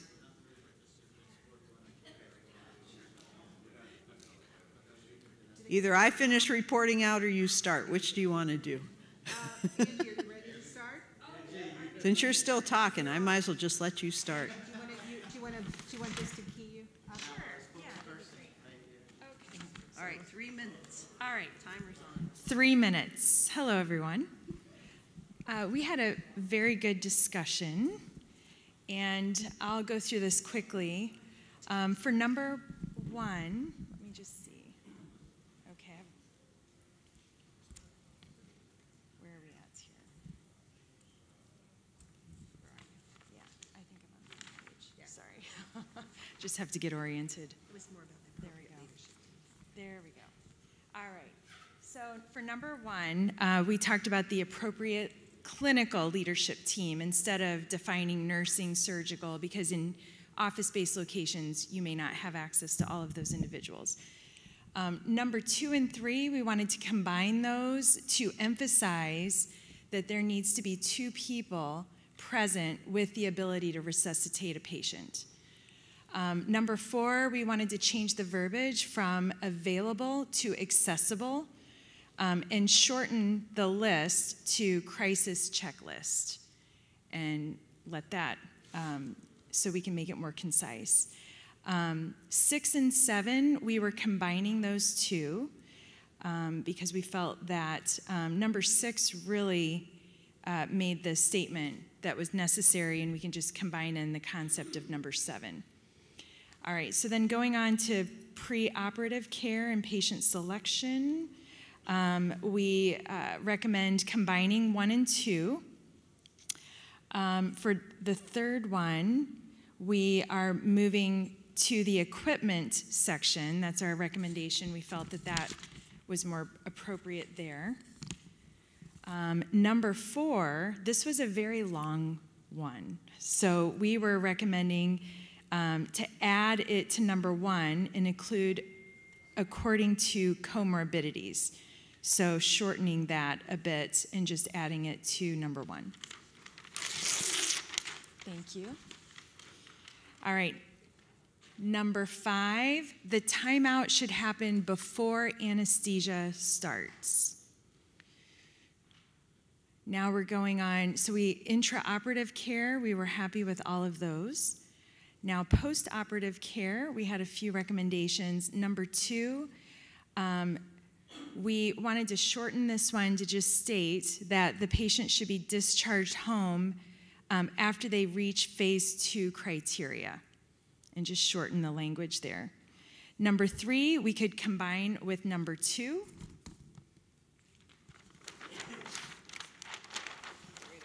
Oh, there we go. And then dropping down to number six, um, we thought that could also be combined with number two. Um, number eight, this is where we started to run out of time, but there was some debate that maybe we could remove this, or maybe this, it, it was talking about opioids, so maybe it's in the pre op assessment. Maybe we could note something there rather than it being here. And then number nine, replace adult with individual to make it more um, appropriate. Thank you very much. Any questions for us? Perfect timing. We don't have time for questions. You're out. All right. All right. Nice job. So should we go back to group number one?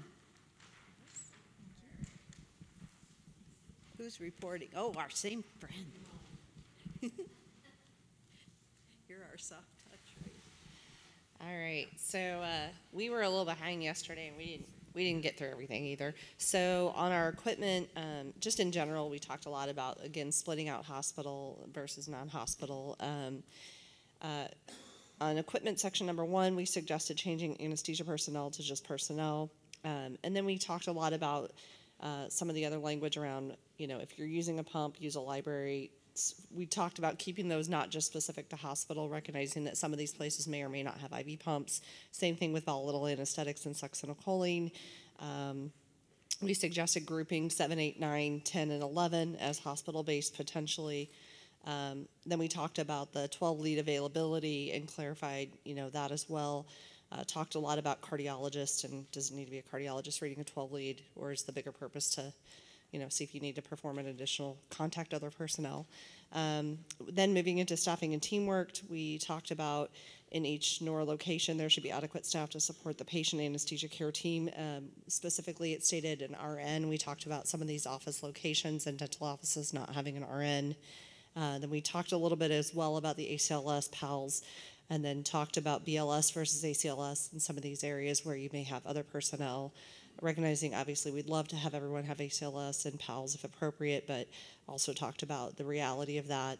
Um, and then we talked about in number four the links to resources um, for the checklist. Uh, suggested putting links for some actual checklists and removing the very specific details of anesthesia airway and all the other ones that were listed there.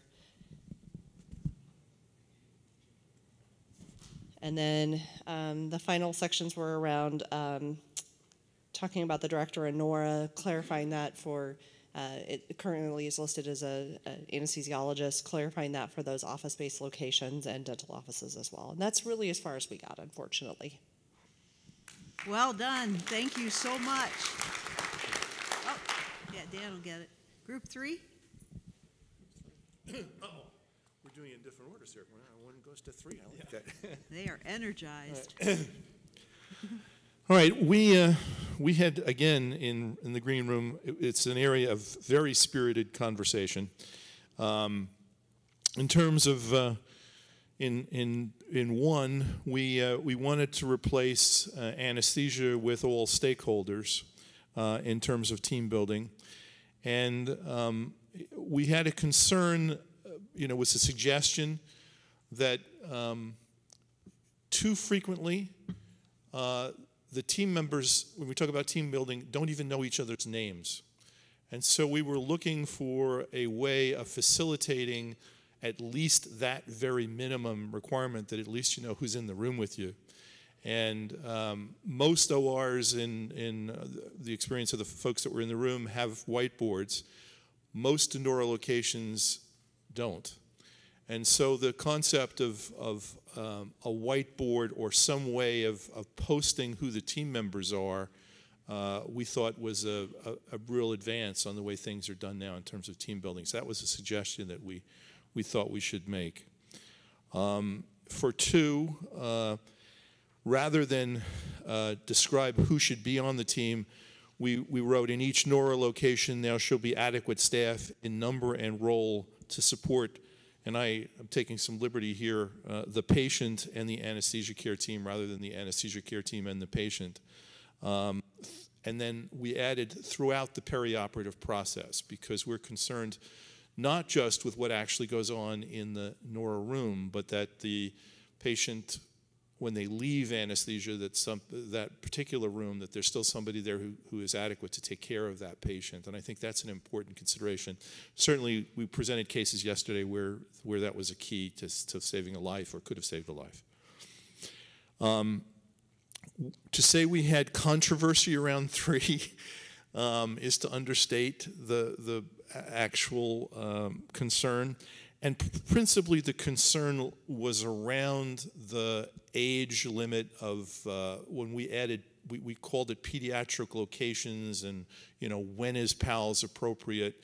And I think in the end, we came away with, uh, with the idea that we would call them pediatric patients and sort of leave them, leave the, the decision as to how you define a pediatric patient um, to uh, a, a, group that wasn't restricted to a 15 minute conversation, but uh, the different uh, arguments that were made were should it be puberty? Um, and since not everybody is going to be comfortable with Tanner staging and deciding, you know, whether they've reached puberty or not, um, there were discussions regarding should we just make it an age um, and the age that was talked about was 12, but we, we really didn't develop a consensus around it. Um, there is concern that uh, clearly the, the folks who are in the room should be competent to take care of the patients that are in front of them, and, by the, and that competence should include the ability to handle an emergency. And, uh, and, the emergency, whether it be an ACLS emergency or a PALS emergency, I think there was consensus around that. Is that fair, guys? Is it, yeah? Yeah, we're, um, pro we're, probably at time, and I think for the glossary, yeah. that'd be great. What are, do you have other highlights you could just give us the nuggets? I, I've got good news for you. Okay. That's as far as we got. So. Oh. Love the green room. Yay. Oh, group four. Thanks, Dr. Cole. Thank you.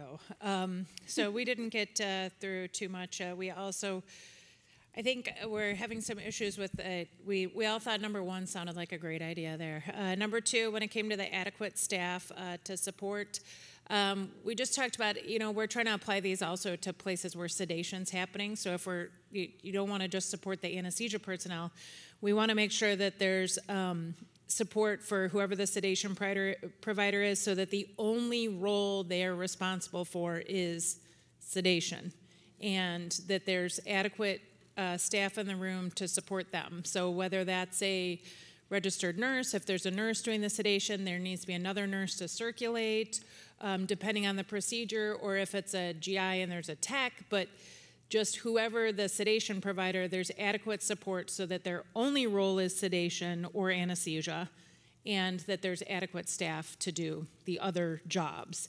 Um, as well, for the number three, talking about again, um, if there's no anesthesiologist there or no uh, CRNA or anesthesia assistant, then saying the anesthesia personnel needs ACLS isn't really going to help anyone. So we thought it's better to just expand it to say two people involved on the site, uh, two people on site, BACLS. But then we also talked about um, in some situations, it may actually be more useful just to have one ACLS person and multiple BLS people. Because if you really have someone who knows what to do with the meds, what you need is people giving good, high quality chest compressions. What you need is uh, people able to get you what you know the medications and things like that. So more focused on having more of the team involved in other ways than necessarily, you know, just having two people that know ACLS and no one who knows BLS might get you in a whole lot more trouble while you're waiting for help to come. Um, we also thought in that uh, number three that that second part of the sentence after the ACLS may not really belong there. Um, maybe that should go, to, you know, that's more talking about quality initiatives. We thought that might be better to tie in um, down with number five. Kind of number five um, seemed like a, maybe a little over directive about what should constitute a quality improvement. So maybe get rid of number five and instead take that second sentence out of three. Um, and that quality improvement could include root cause analysis when but also encouraging debriefs on the day of when when things happen um, as as more of a focus than having you know conferences really just having those in the moment debriefs or the day of debriefs um, for number four uh, instead of just crisis checklists let's have crisis manuals things that actually tell you what the next steps are cognitive aids available and we kind of thought just that first sentence was sufficient they should be available. We don't need all the specifics about what those aids are for. Each location is going to need different crisis manuals depending on what's done there. So, and if you get a stack this big, people can't find the one they need when there's actually a crisis. So instead, let's let's just say crisis manuals as cognitive aids are available and visible in every NORA location, and then the team figures out which ones apply to their location. All right, we're at three Um, minutes. you got your last Perfect. nuggets? Uh, that was it. For number six and seven, we thought they should get combined together and maybe talk about dedicated liaisons instead of liaisons. So if you're in a place where there's many different sites, maybe they each have their own liaison, um, but that you're really thinking about a team appropriate to the site. I love synchronized thought across Yeah. these groups today. It's been awesome. Thank you so much. And for anyone who doesn't know, our colleagues from the AORN are here who write these guidelines for that you just heard. So Lisa and Amber, thank you for your work and your team and for being here with us today. I know we got a lot of experts in the room. Yeah, thank you. All right, where's the group five? Five alive. Hello? Okay. Since I'm impossible to shut up, I think the group just decided for efficiency's sake to make me present. um, so the first thing, um, it, this may go back to equipment, and so I'm jumping around a little bit. Um, it may go back to equipment, but also patient selection to kind of bridge the gap.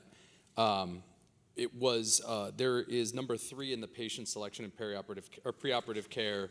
Um, number three says the patient size and weight capacity limit should be established for applicable equipment to confirm patient suitability for the site.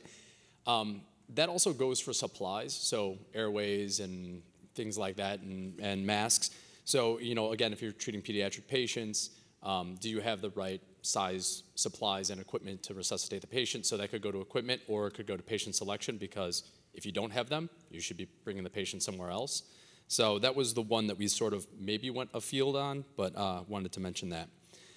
Um, getting to the beginning of staffing and teamwork, um, we talked about, again, when you list people out, it becomes difficult because then some folks don't see themselves listed and then decide that they don't have, that it doesn't apply to them.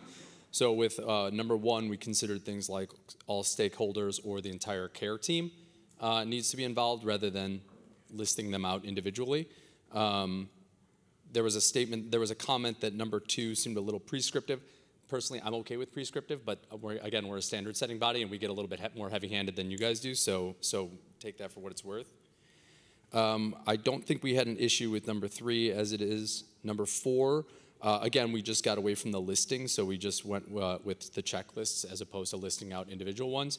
We also talked a little bit um, as, as the first group who presented it about availability uh, because availability and access is really the most important piece because it's great if you have it, but if no one can get it in an, emergency, that's a problem. Um, and so while that would both apply to printed and electronic versions, um, again, as a standard setting body, we've seen in investi- on, on surveys that the facility has everything electronic, uh, but when the emergency involves a power outage, it's really hard to access that. So having sort of contingency planning in place is pretty important. Um, the other part that I think we talked about a little bit more was numbers six and seven, um, and that these are kind of hospital type uh, settings that would have this kind of type of infrastructure in place.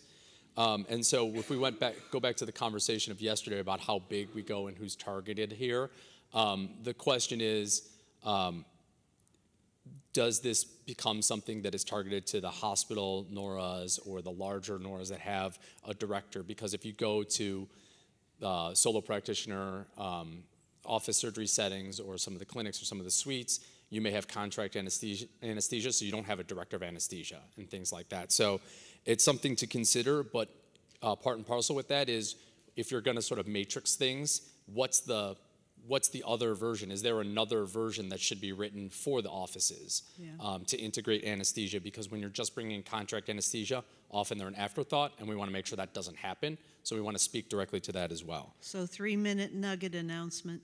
Last one. Okay. Um, we also added a number eight that the anesthesia and proceduralists have uh, concordant uh, care plans. That's really important in our standards, and we talked about it a little bit in our group. I like that. Oh, sorry, I did have one more. The, Okay, um, okay. For preoperative care and patient selection, number four, our group uh, talked about cleaving out sort of the middle section and making that a separate bullet aside from BMI, and then sort of concatenating the first and, and last sentences for number to retain as number four, and then those other factors bringing out in another in another bullet.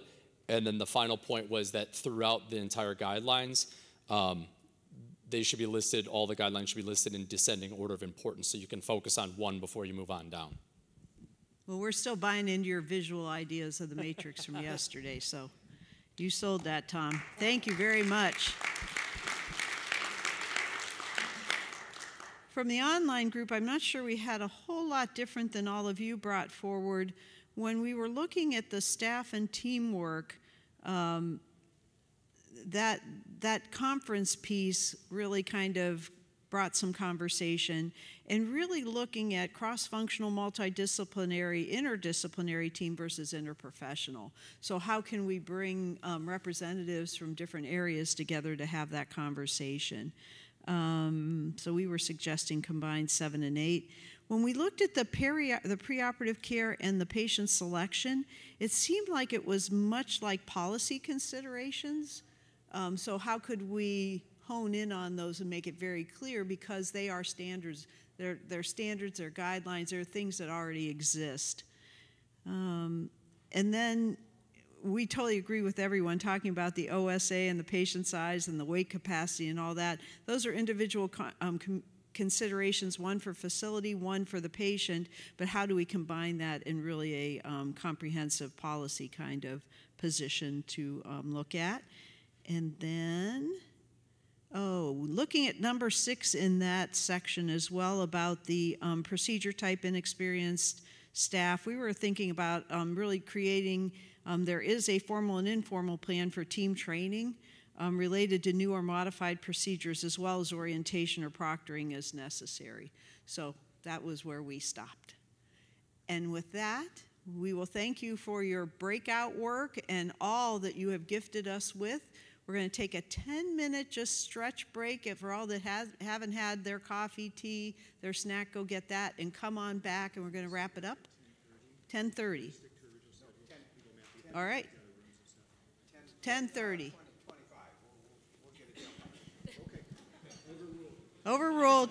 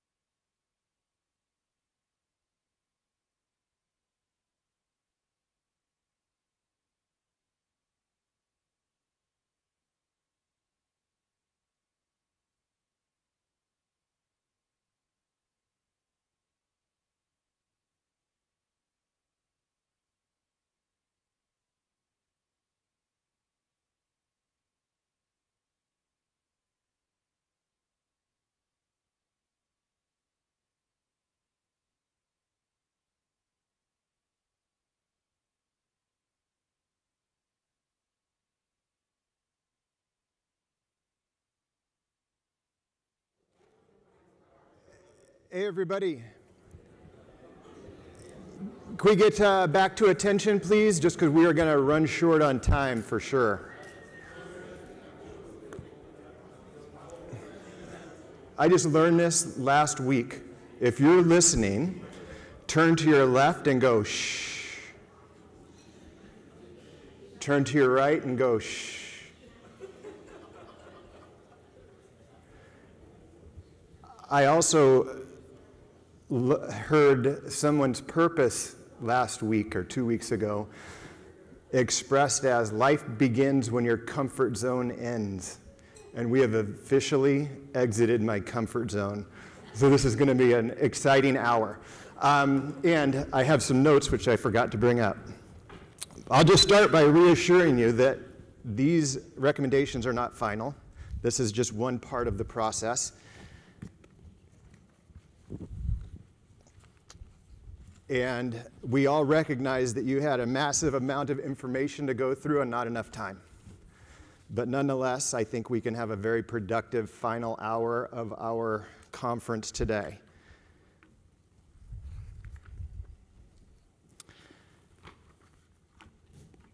First, let's thank our moderators for getting us through the breakouts. And uh, thank you for all of your efforts as well. Um, in terms of our process from here, so we've gone through a couple revisions of the recommendations. We've put these recommendations now through breakouts. We've, I've been revising the recommendations, you know, with other people's inputs kind of on a nightly basis, but there was no time to revise anything from this morning. So the recommendations that were in place on the PDF yesterday are going to be shown on slides here later. We're going to go through, we're going to use a polling application. Has everyone been able to download Poll Everywhere or join via the QR code or go through the URL? Anybody, um, if anybody has trouble with that, uh, the board of directors successfully did it two days ago, and they are super users. And they will be available to help you guys. First, I'd just like to uh, mention what our schedule is going to be th- for the remainder of the day. This particular part of our program is going to finish at 1125. Dan's going to close us out from 1125 to 1130. We respect everyone's time, and uh, we are aware there's a bus coming at 1145. That bus will also arrive at 1130, and we will be on time for that. In terms of what I'm going to do today with you all, we're going to review these recommendations one by one. It's going to be an awkward voting format. Awkward is meaning there's probably going to be some silences. It may feel like a bit of a test. I don't think it's um, a good use of, of our efforts for me to read each one. So I think they're just going to be presented, and we're going to ask you if you agree or disagree with it. Please consider these conceptually not for the exact verbiage that's going to be shown on the screen. So really think of it as is, is this concept or is this subject relevant or important to be included in NORA recommendations? that's how I want you to approach it, um, recognizing that later in the fall there's going to be an additional draft that you all are going to see to have um, to have the opportunity to redline, and there's going to be further revisions after that before this is final. Okay, does everybody have the application going? Does everyone see a map? Okay, I think we'll probably see some initial results from our map. If anyone has not voted on the map, go ahead and vote. This is where your vacation, favorite vacation spot is. What was that?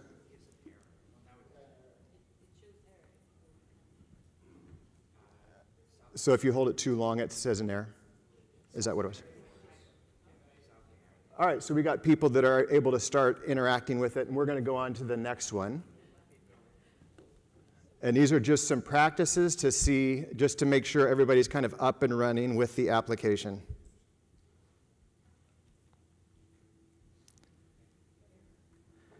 Error.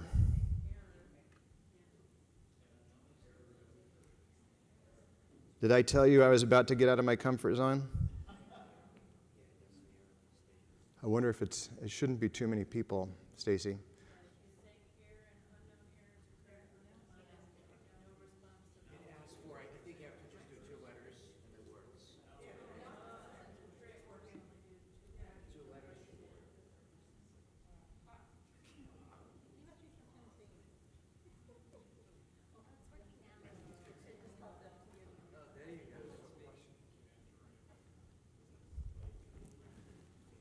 This is exciting stuff. What we're actually going to be doing is more of multiple choice and true false. Let's see if those work.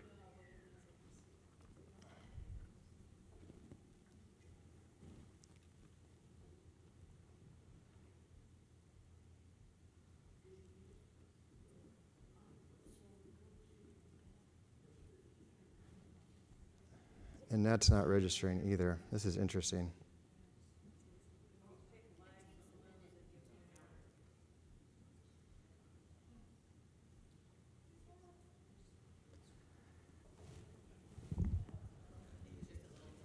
Yeah, I'm not sure what the delay's for, yeah, but we'll we will learn to live with this and go on with it.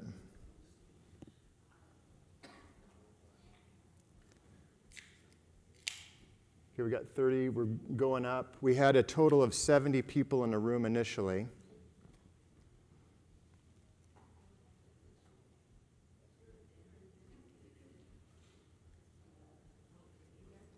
Is anyone still getting errors?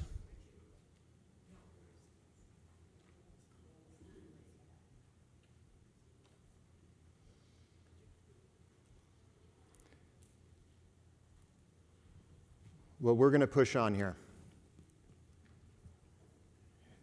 Here's a true false.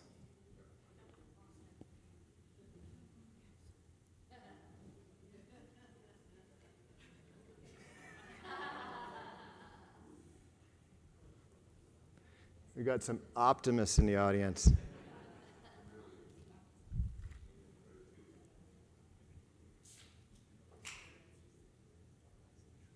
Can everyone who's voted here just raise your hand? I want to see a.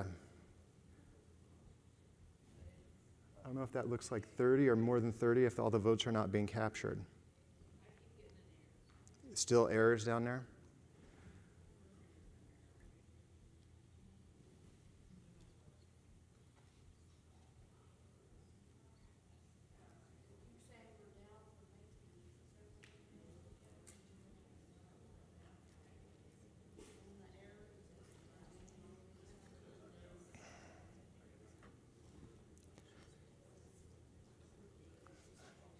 I'm going to rejoin through my app and see what happens.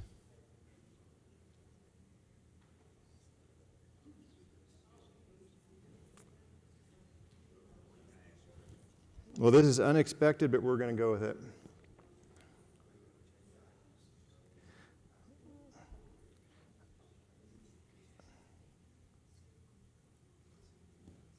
Our next one also not working. Um, give me one moment, everybody. My apologies.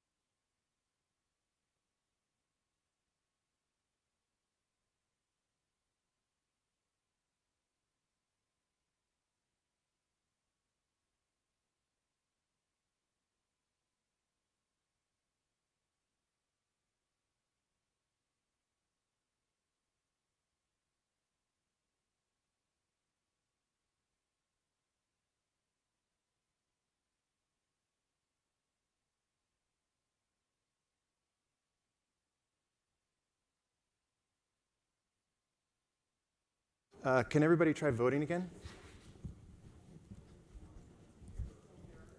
Still same thing? Okay.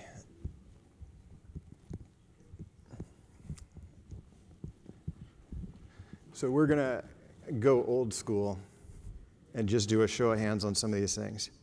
Unless uh, anyone on the planning committee have any other suggestions for just kind of trying to record consensus in a room other than the show of hands at this point?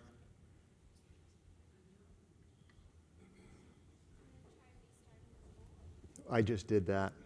Anyone who's joined via laptop or via the URL having problems, or is it just people with the app? Laptop also? Okay. Okay, so this abandoned ship on Poll Everywhere. And let's, um, what's that? Yes, we are, that's how we're, we're going to go through there. Um, Elizabeth, can you kind of help me record the hands?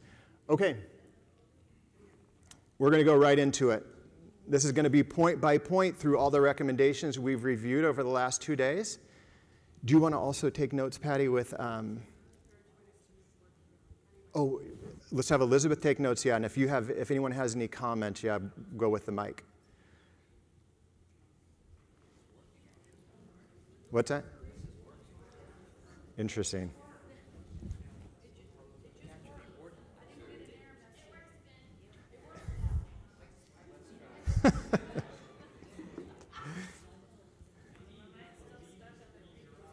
oh. Yes, I would, if, if you're stuck on a previous question, reload the, reopen the application. I'm getting an error again. Yep, we're doing hands. Okay. Um, scope has been broken into two pieces and revised on yesterday's, based upon yesterday's feedback. Here's part one of the scope. This is uh, locations included in scope. Show of hands in favor.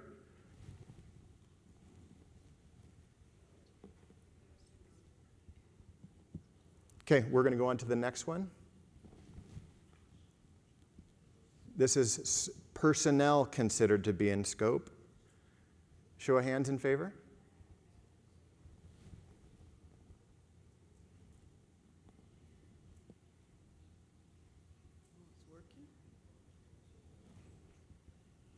All right, thank you. And anyone at any time can interrupt here.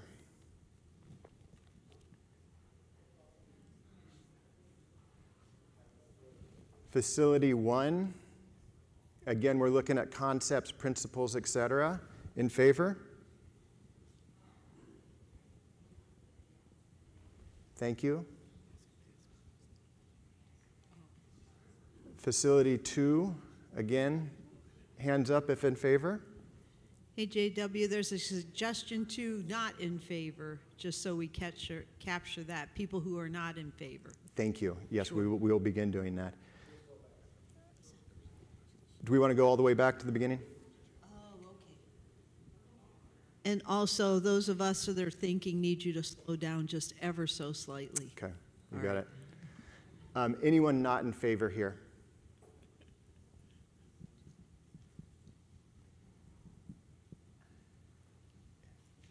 Anyone who's not in favor is welcome to stand up and have a quick um, summary, or we can pass on it. I'll just let you all step to the microphone if you need to.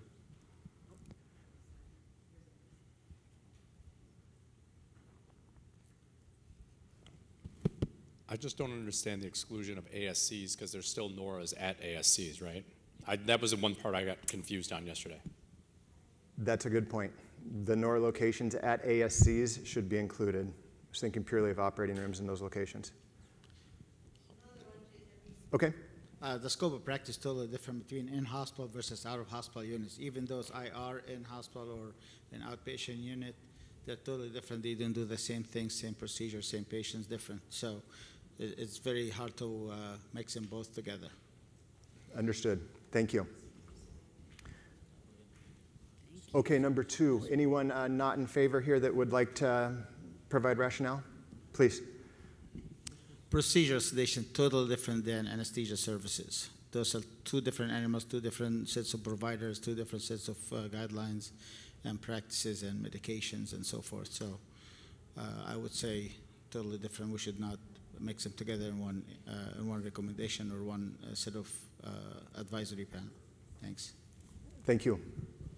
Any other comments there? Okay, we're just going to start with the in favor again on this one, which we just uh, started a moment ago.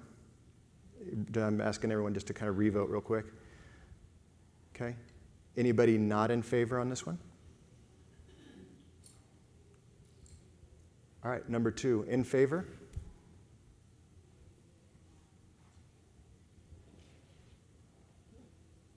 Anyone not in favor?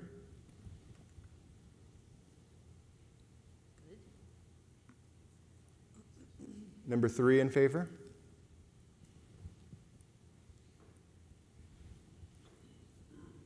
Anyone not in favor? Thank you. Four, some wording change here. Active was removed because it's a source of persistent confusion. Anyone not in favor here? Electrical outlets and backup power supply.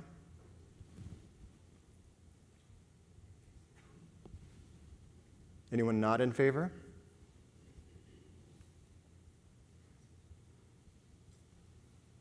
Lighting and backup lighting.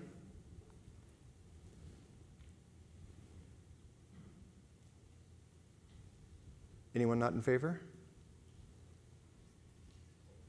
Space, we added uh, clearance. The wording's not great here, but we added clearance yesterday um, after hearing that um, one account of an anesthesiologist being hit in the head with a C arm.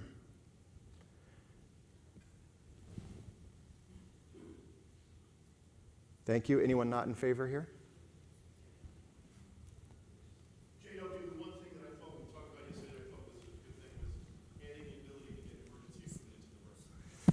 It's a great point. Did, you, did everybody hear that? Here, do you want to repeat Sure, sorry. Um, we talked about the ability to get emergency equipment in the room, code carts and the like, um, as, a, as a good addition to this uh, recommendation. Thank you. The uh, recommendation related to continuous suction, dedicated for the anesthesia team. Anyone opposed?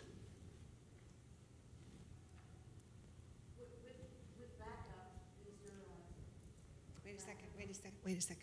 There go. On, on that previous one, I think, didn't we say with backup? The suction backup? No, it was, um,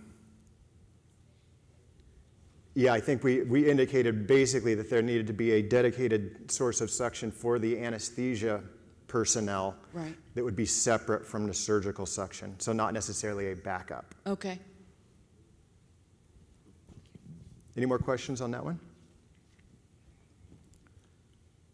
This one was added last night, so we've not had the opportunity to discuss it. Anyone in favor or opposed, or how about in favor right now based upon this one liner? How about opposed?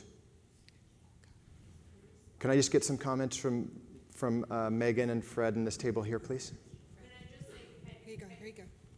Does it need to be dedicated if it's in an area where you're also doing sedation? Is there any reason why they can't be? And if it's in an office, I mean, you may not have a recover. Sometimes you recover them in the same room you did the procedure. Just Yeah. a just a space, a dedicated Yep. recovery area that has appropriate monitors and personnel for the patient. I mean, It does not need to be a separate space, is what I'm yeah, it doesn't from need you. to be a physically Yep. separate space, but wherever the patient is recovered, they need to have the right equipment and personnel to do that. Okay. Go ahead, Fred. I think the, an easy way to do that would just be to change the word room to area. Okay. Simple.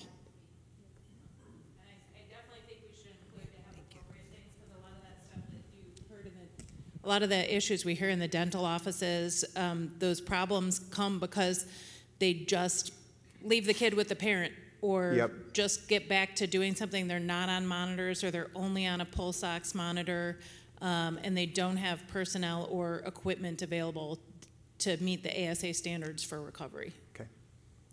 Thank you both. Oh, yeah. There's one here. Just going to echo what she said earlier. Um, so it should be appropriately equipped with monitors and staffing. And then the other thing is that it should be include a pre-anesthesia assessment area. JW? Thank you. You Yes. may, you may want to clarify, say, for NORA area between parentheses S, so in case two NORA areas close together, they can have, but, but make sure that to- to uh, specify that this PACU is for NORA. Because right now, we already have dedicated post-anesthesia recovery room in every hospital, but that's for the OR. We're talking about NORA, I want to clarify that. Yep, Thanks. thank you. Any other comments on this new item? Oh, yeah, kind of similar to those comments. Um, I just wonder about the word dedicated. Um, in some hospitals, the NORA locations are actually very close to the OR. For example, my institution, we use the same PACU for both NORA and um, OR cases, with the same standards for both. Um, so I just wonder about the word dedicated. Okay, thank you. So to, to kind of handle all that, you know, we just say, and sort of, you, there must be an identified recovery area, but I also think the area is only as important as the equipment and the staffing as well. Just to talk about some of those dental issues that certainly the monitoring equipment has something to do with it, but also when you have contract anesthesia particularly, and people don't want to pay them to stick around, that's when anesthesiologist leaves, and that's when, you know, a problem happens Yep. or something like that. So I think broadening that a little bit could be helpful. And again, in our standard, we allow the way we, I forget the exact wording, but we allow them to recover where they treated the patient as well. Um, just obviously as long as they're not like starting to turn that, the, the space over for the next patient. So it's just about like identification rather than kind of segregation. Great points. Thank you, everybody. Moving on.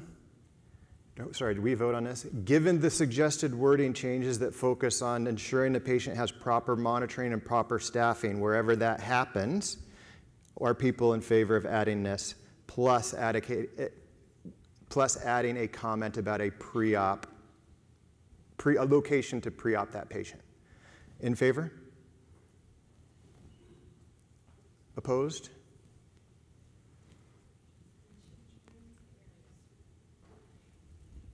Okay, we're on to equipment. In favor on this item? Anyone opposed? Thank you. One of the great things about Poll Everywhere, had it worked, is it provides anonymity. So I'm sorry that we're asking everyone to raise your hands in this group, but please be cognizant that we expect we respect all dissenting opinions. They're extremely important, so please speak your mind. Equipment number two. This was modified, and um, this should have been modified. It said it should say when inhalational anesthetics. Nope, sorry, that was a different one. This one is properly worded. I'll give you a moment. In favor? Anyone opposed? Thank you. This was updated yesterday. LMA was replaced with supraglottic airway.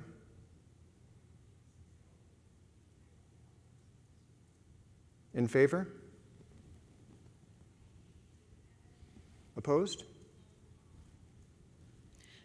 JW, this is Lynn. My only question is, should that, are those examples or are those required? So is it IE or EG? Because there are Ex- other things you could have. Yeah, just examples. Okay, Thank you, Lynn. sure. Equipment number four, in favor? Opposed? Thank you. And just to reiterate, please interrupt at any time. Number five, seems like a reasonable one. In favor? Opposed? Thank you.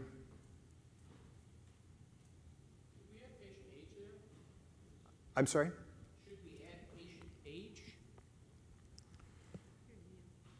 For, the- for the equipment number five? Equipment. Yeah, this came up in one of the, at least one of the groups today. Yeah. Which, which does have to do with supplies Okay. adequate for the patient population, including ages expected at that location. So yes, I would want, if children are to be cared for in a location, we'd want to have resuscitation uh, equipment for them as well.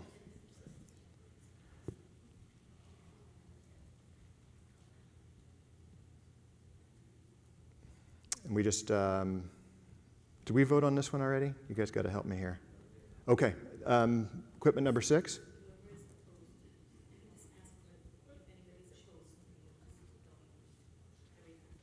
Oh, I think we like to see the, uh, the affirmative hand up too, but thank you for trying to make my life easier. Um, okay, thank you. Anyone opposed? Please.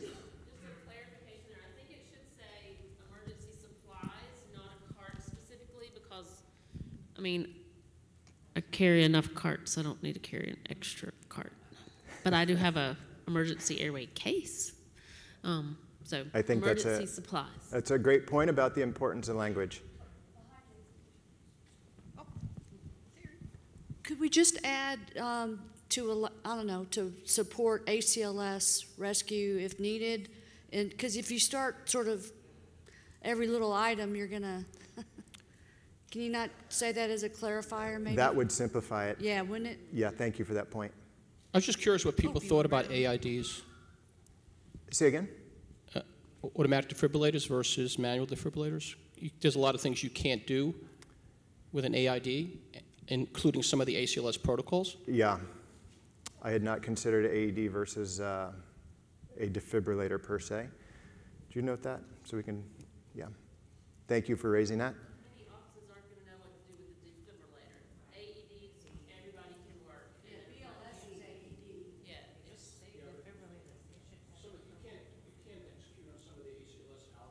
If you're slapping on an AED, your meds better be on their way, and then you're getting it.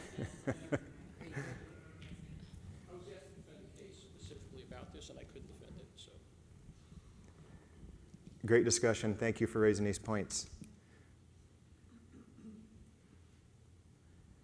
Uh, there was a comment yesterday about should we have supplies to treat MH in all of locations where sux could be used, uh, let alone volatiles. Uh, we will make an effort to review additional society statements on this. In principle, in locations where volatiles or sux are used, is it required to have treatment for MH in that location? In favor?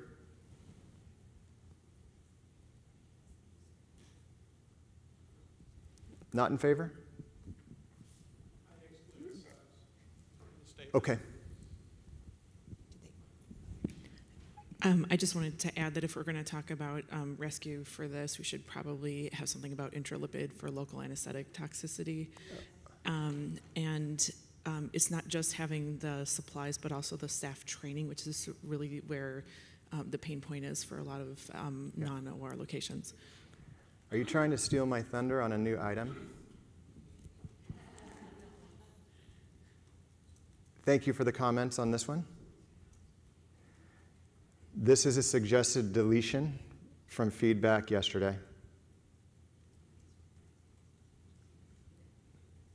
I think at this point we're inclined to delete it. Is, does anyone feel strong, strongly to keep this one?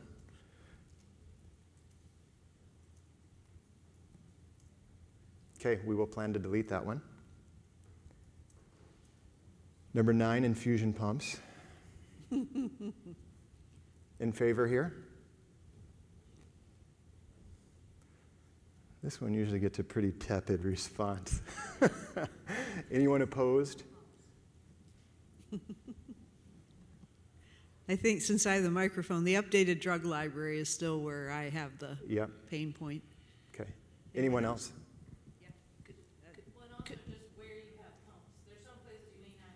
Yep. Could you just reword it that if you're going to use an infusion pump, we recommend Yes. updated library? Yes, I think that's a nice qualifier for that. Do we want to encourage dose error reduction software? I think that I kind of consider those synonymous with Okay. drug library, but I think that u- using DERS Guardrails is is- a, a more descriptive term. Yeah. Do all pumps have update, do all pumps have drug libraries in practice? No, they don't. I would say most at this point. I think ma- pumps manufactured today almost invariably do. Oh, yeah, manufactured today, Yeah. but in practice. Yes, that's, that's true. There's a lot of legacy products that are out there for sure. We'll work on this one. But it's not going to happen everywhere. They don't have a farm. This is a substantial revision that involves equipment that's unlikely to be used in many settings, including office-based anesthesia.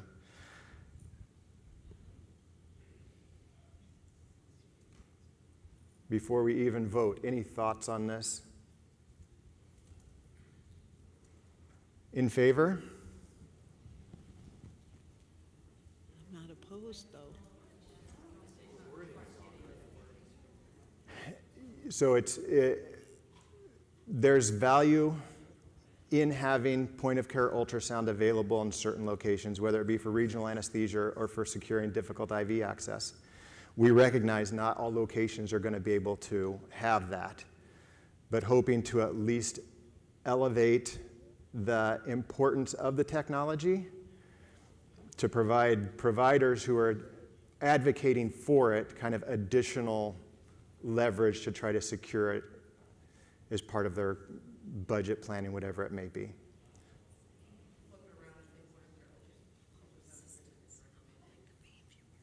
What's that? Yeah, that too. Yeah, but the point of care ultrasound, the POCUS. No, these are, these are great points you're making.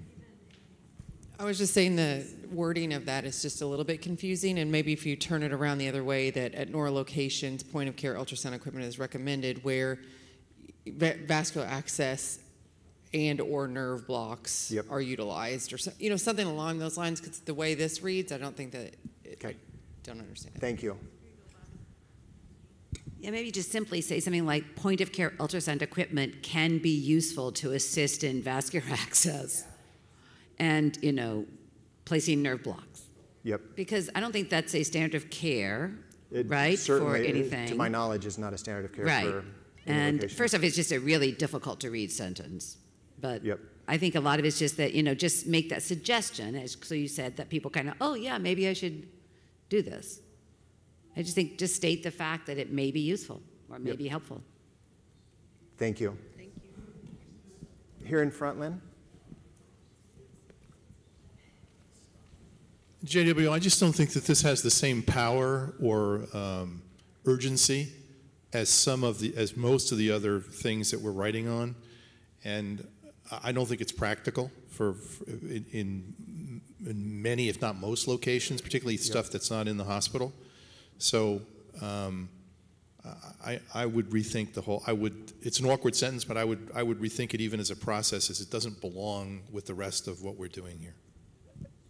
Why don't we rephrase the vote?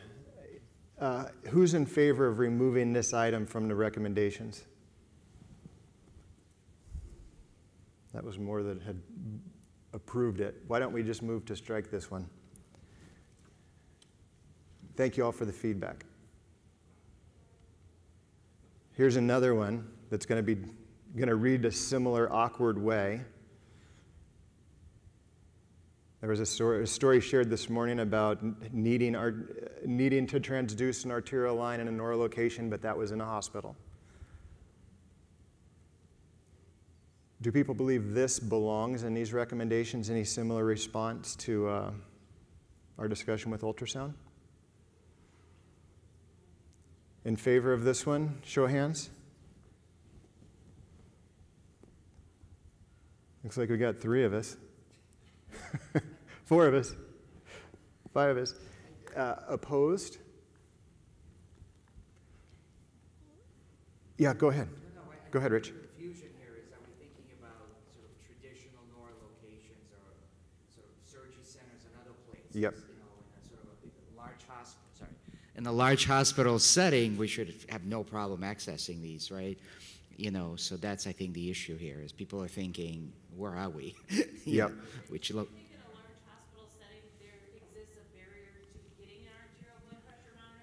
Well, there is, but that's why we're writing these, I think, that people think about it a little bit more and maybe, you know, i- increase access to these things. Um, so that's, that's my point. But Well, that, I mean, that's my question. Like, is there a barrier to that? Does ASA even have anything like this that says you should consider having an arterial exit and Well, well, I think the issue is sometimes it's, it takes time to get these things because we don't have them readily available. Thinking about a, l- like a, a big place. to get an ultrasound in an operating room too. That's true. So I would say that this is like, just seems to be way above where. Well, this may be something that's more going to be solved by having your NORA designated liaison who's going to think about, you know, who's going to be able to advocate for the things that you need in Yep. NORA specific to your site. Yeah, and I'd be careful of that because I mean, I remember when we set up an OBA office at Northwestern for the first time, and literally people wanted to have like, you know, ECMO machines. I mean, because oh my gosh, what if, what if, what if, right? And at some point, I think we have to realize that if a patient really needs those kinds of things, and they maybe don't, shouldn't be in a NORA location, right? Yep. And that this is the practice truly of anesthesiology. Um, Thank you. One, we got one more comment, and then we're gonna, I also think, it, um, referencing back to some of the talks this morning, hemodynamic instability, most anesthesia causes hemodynamic instability. So, there's a drop of blood pressure of 20 points, hemodynamic instability, and now the dental office needs an arterial line. I think that's unreasonable. yep, thank you.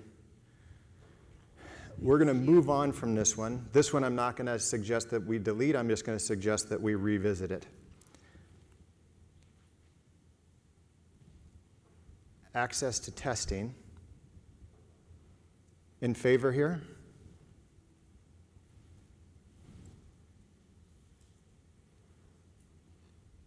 Opposed?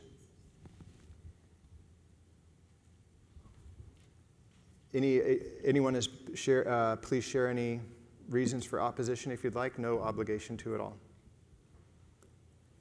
In a GI setting, a lot of times we don't have, um, we don't need those, um, like a CBC or additional testing for the procedure, or even like for an eye procedure.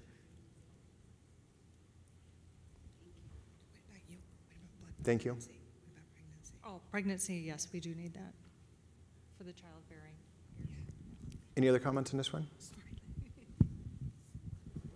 Dr. Dutton? I, I like the inclusion of appropriate for the patient population because I think it solves that Okay. question. Different centers need dis- different testing requirements. Thank you. I- I, don't, I, I'm not sure that that helps me much. I, I, I still think that, I mean, if you're going to an ambulatory surgery center or you're going to a, a, a NORA site, you know, should you have your pregnancy test before you go? You know, aren't these lab tests things that can be done before you get there as opposed to insisting that they be on site? Um, I, I can't recall, you know, in an, particularly in, in, in a in real outpatient kind of NORA settings where I've ever used any of these.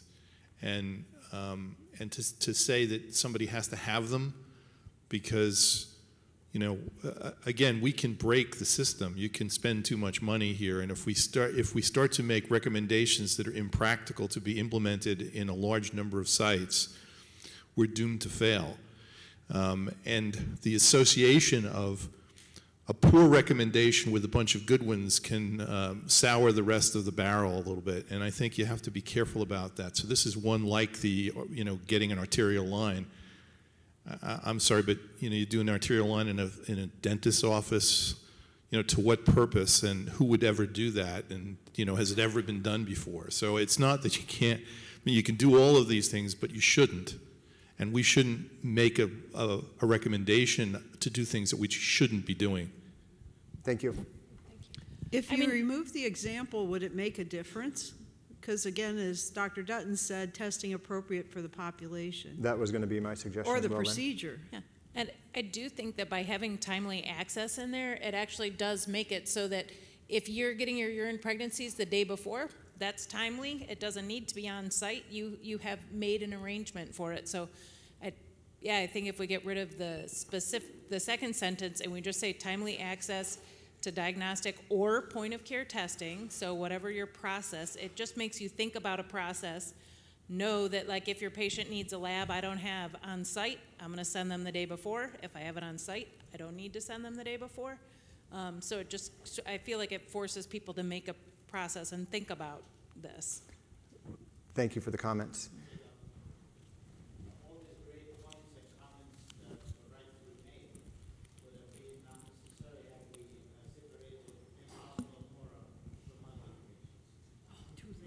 Sorry. No, I repeat what I said if you have not heard me. I said all these great comments and, and points that were made rightfully could have been uh, avoided had we separated the areas from in-hospital NORA versus other outpatient areas, because these are all great points and they're all correct and, and wonderful. And it just mixing multiple areas that serve different populations for different acuity level makes it very difficult for us to come up with unified recommendations. It is Thank more you. Challenging, for sure. Okay. Go ahead, Rich. You're back, Tom? All these specific examples, maybe going back to um, the, about monitoring A-line and Yep. ultrasound, and maybe we could just have one statement that incorporates like three of the other statements, including this one, that just says timely access to testing, monitoring equipment, what else was there? Yeah, that's pretty much it. Yep. Uh, per, based on your patient population and procedure, maybe something like that. Again, we can work on it It's a later, g- but great a suggestion. suggestion. Yeah. I Thanks, mean, everybody, for the others, I'm comments. just combining what others have said. I'm advancing the slide deck.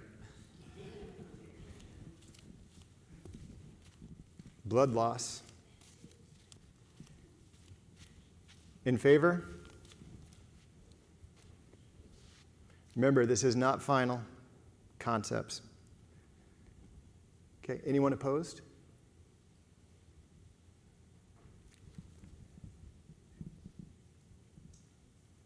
Anyone want to share any um, concerns? I think it would help to split out in-hospital versus out-of-hospital. Even in this statement, you could say it in-hospital nor locations. Yep. Or a combination, like Dr. Urman suggested. Thank you.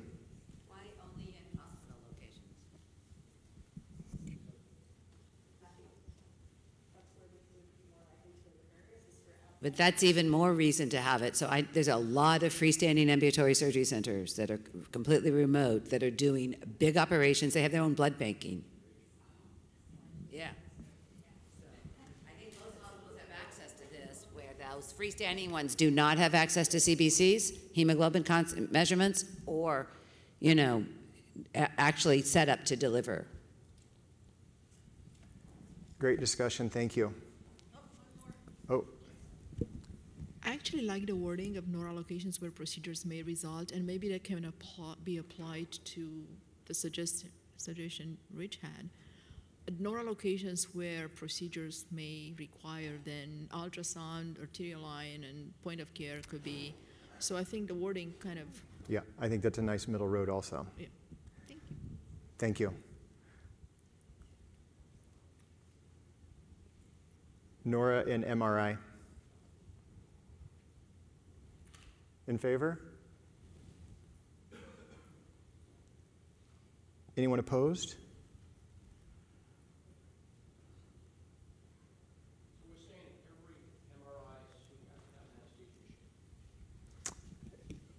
We're, it's a should, and it's going to depend on facility, how many suites they're going to have, and how many machines they're going to want to have that are MRI compatible, as one example.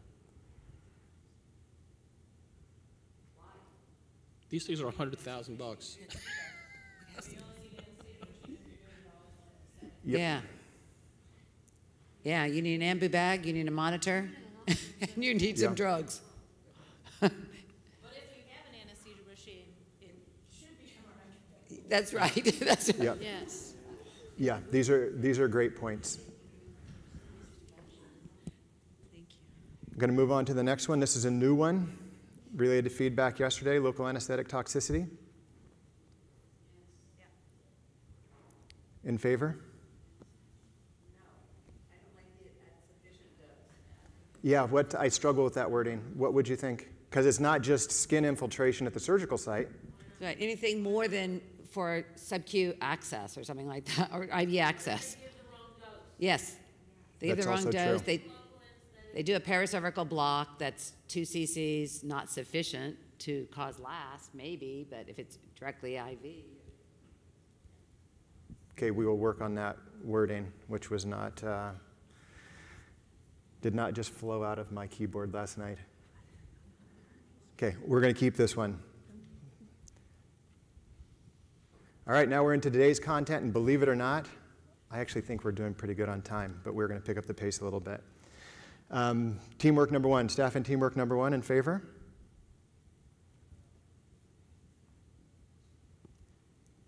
Anyone opposed here? Going to number two.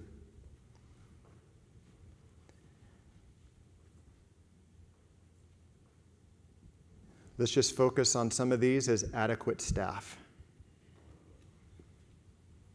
In favor of adequate staff.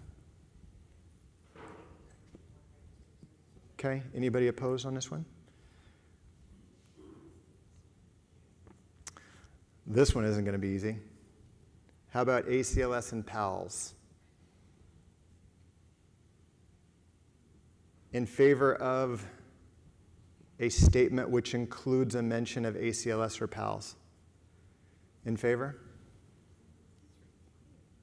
And let's just say that is the anesthesia personnel. How about in favor of someone at the NORA site also being ACLS or PALS certified?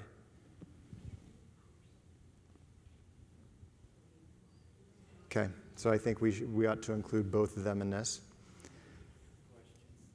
Yeah, Rich?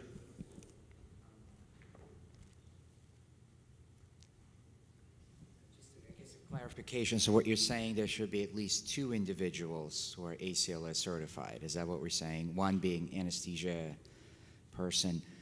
Um, I guess I'm thinking more of a proceduralist. Uh, I guess we don't want to be, because it does say nursing, nursing staff, and a- as you know, that's not the case in many, many places, whether it's hospital-based or, you know, surgery center, or whatever it is. So I- guess the question is, do we want to say ACLS or some sort of resuscitation training, which could be BLS? I know it's not the same, but um, I guess what kind of level?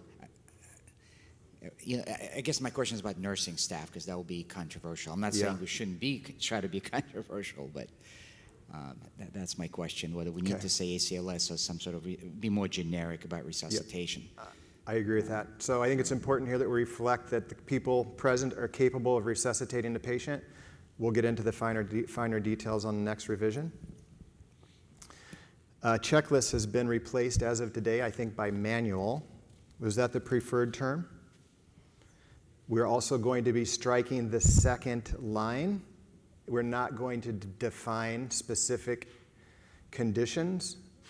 We're going to be saying crisis manuals shall be available and clearly visible in NORA locations as applicable for the patient population and procedure type, something like that. In favor? Yeah, could we add training? What's that? Training with the uh, checklist?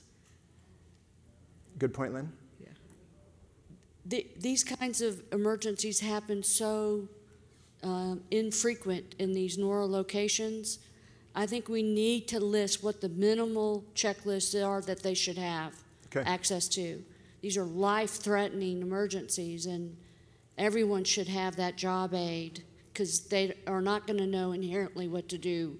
I, I think we should at least, you know, eh, and if we're going to do that, even just saying as a minimum, at least these five things, you know.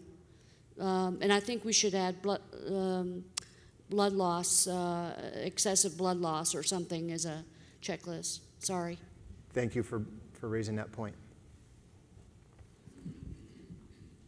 One of the suggestions we had was potentially putting a link to the EMC where they have a, a website where they have all the checklists and manuals and things like that. So it gives people an action item and something they can actually take home with them from these guidelines. Great point, thank you. Any other comments on this one? All right, moving on.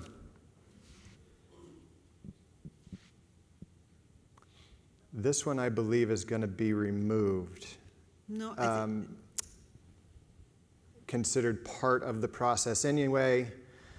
Um, does any, I think I was maybe in group five's room when this had been discussed, or group four's room.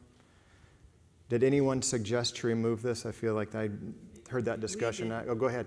And I agreed with the oh. discussion I heard. Fred, you want the? No, no. No, you're good? Yeah, in group four. In group four, we d- discussed deleting this. And was, it, was some of this content considered repetitive of, rec- of content that's coming? Yeah, Okay. we combine, in the virtual group, we had edits that we s- already sent to you. Okay. So at this time, I'm Combining, going to suggest that we're going to be removing five. Anyone strongly feel five ought to remain?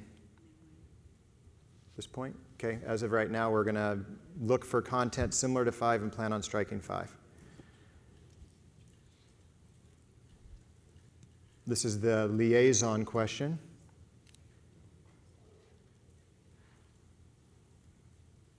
complicated outside of the hospital where a department of anesthesia may not exist, so we need to figure out a better way to uh, identify this person.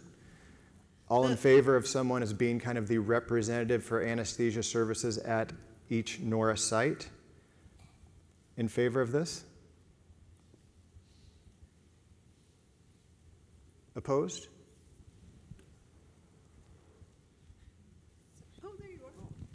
My only comment is that the vast majority of anesthetics are not done in academic hospitals, and Department of Anesthesia means nothing at those hospitals. So um, maybe like a director of NORA, like just leave that, but Yep. Department of Anesthesia just kind of falls flat in these like Yep, rural understood. and smaller hospitals. Thank you.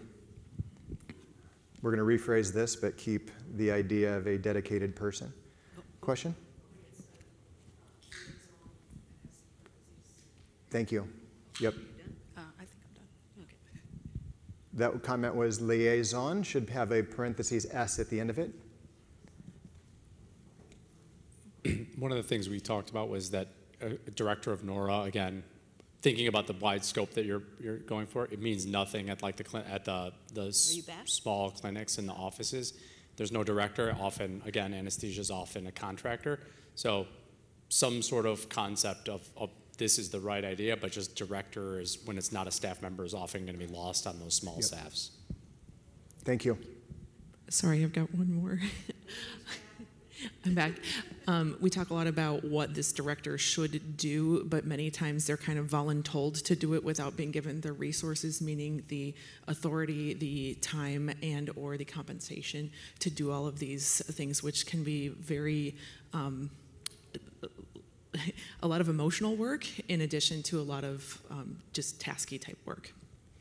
Thank you. How about a dedicated NORA anesthesia team should be considered? In favor?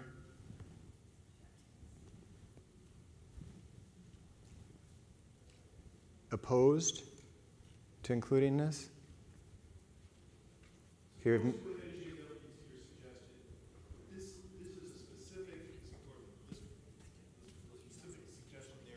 Works in a hospital, it doesn't work elsewhere. Works in a hospital, doesn't work elsewhere, and you add the term hospital uh, associated NORA sites, because that's where you're really talking about. Thank you.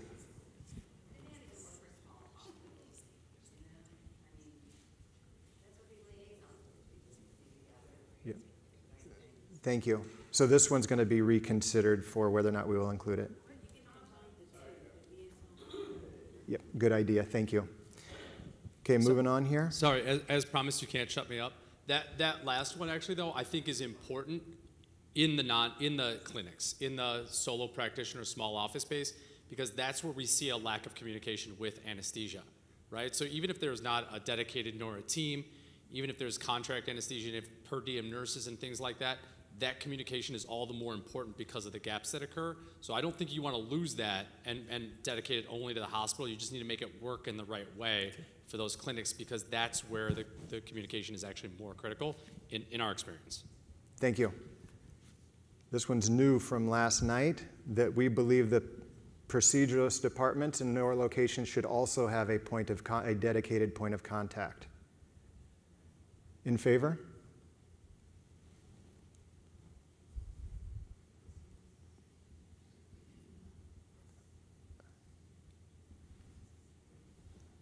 Opposed?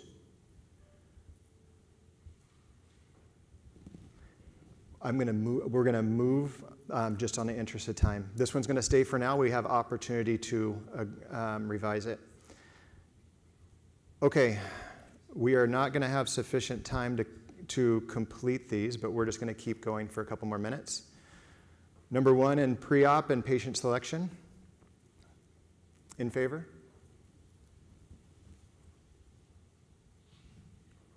Opposed? Number two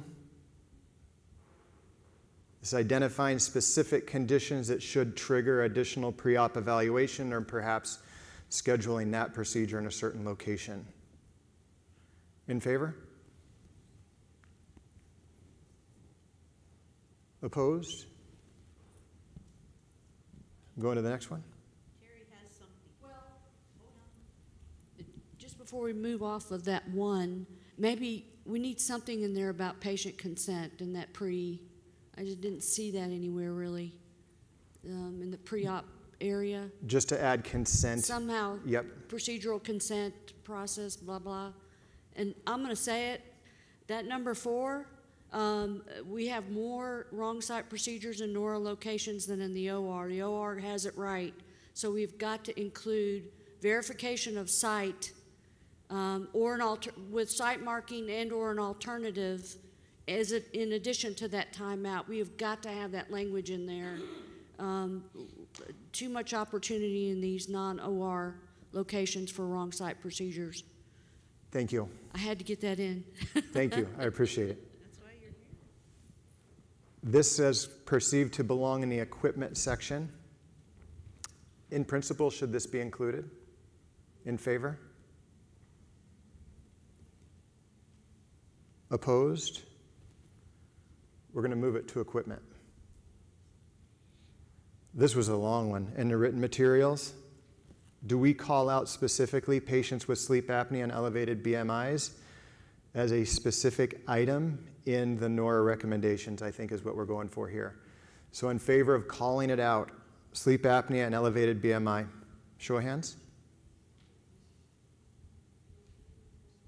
Opposed?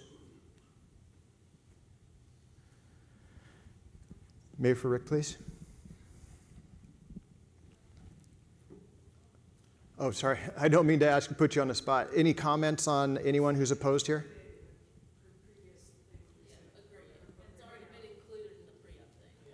Okay.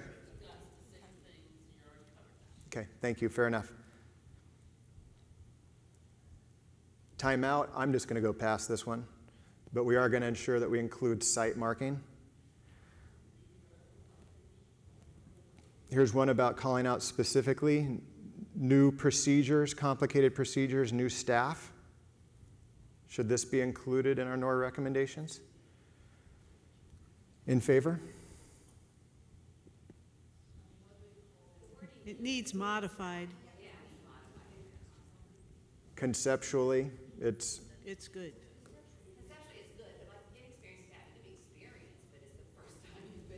yeah. So I would just say that before introduction, right, with new procedures or new staff or onboarding or something like that, there needs to be, you know, some sort of proper preparation, education, discussion, or planning or something. Thank you. It's in the virtual group comment. Okay, thank you. We're going to keep this, it's going to be reworded. I'm going to go past this one. This also uh, was very close to unanimous agreement in favor. Anyone have any comments here?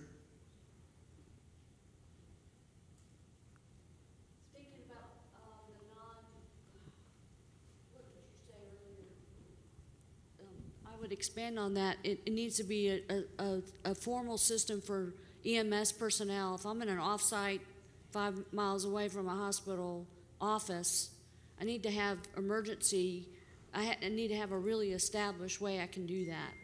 So I think we should expand a little bit on that. Not just assistance, emergent, assistance, emergency response, little- and transport. There you go. You have a policy. Yeah. Thank you. Required for accreditation.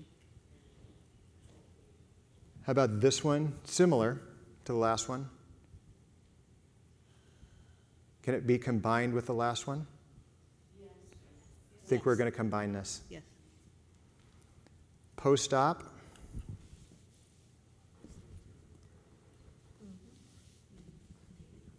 Any, any, anyone opposed to this one? Rich? Not opposed, but the more I think about it, I mean, there's lots of standards that already exist. I guess the question is, do we need to just, do we need to say it? I'm just bringing it up. Okay. Um, um, Sorry. oh. It's, so it's recorded. Oh, okay. I, my question is, you know, we mentioned obviously pre-app standards, and I, unless we're adding something more to it, then that's what it out there. I, I, I just don't know how other people feel about it. I mean, it's a, it's a right statement to make, but it's already out there. Okay. Thank you, Rich. We're in the post-op section. We're going to set appropriate discharge criteria. This is probably going to be combined with the previous. We will revisit this with this group. We'll revisit this one. There's falls and VT, fall prevention here, and VTE is the next one. There seems to be some interest in keeping these in. We're going to reword them when we circulate the next draft. This one, I don't know if we want to go here. Um, we are not going to resolve it in the next minute, which is what I have. Responsible adult, we're going to look for other type of applicable guidelines.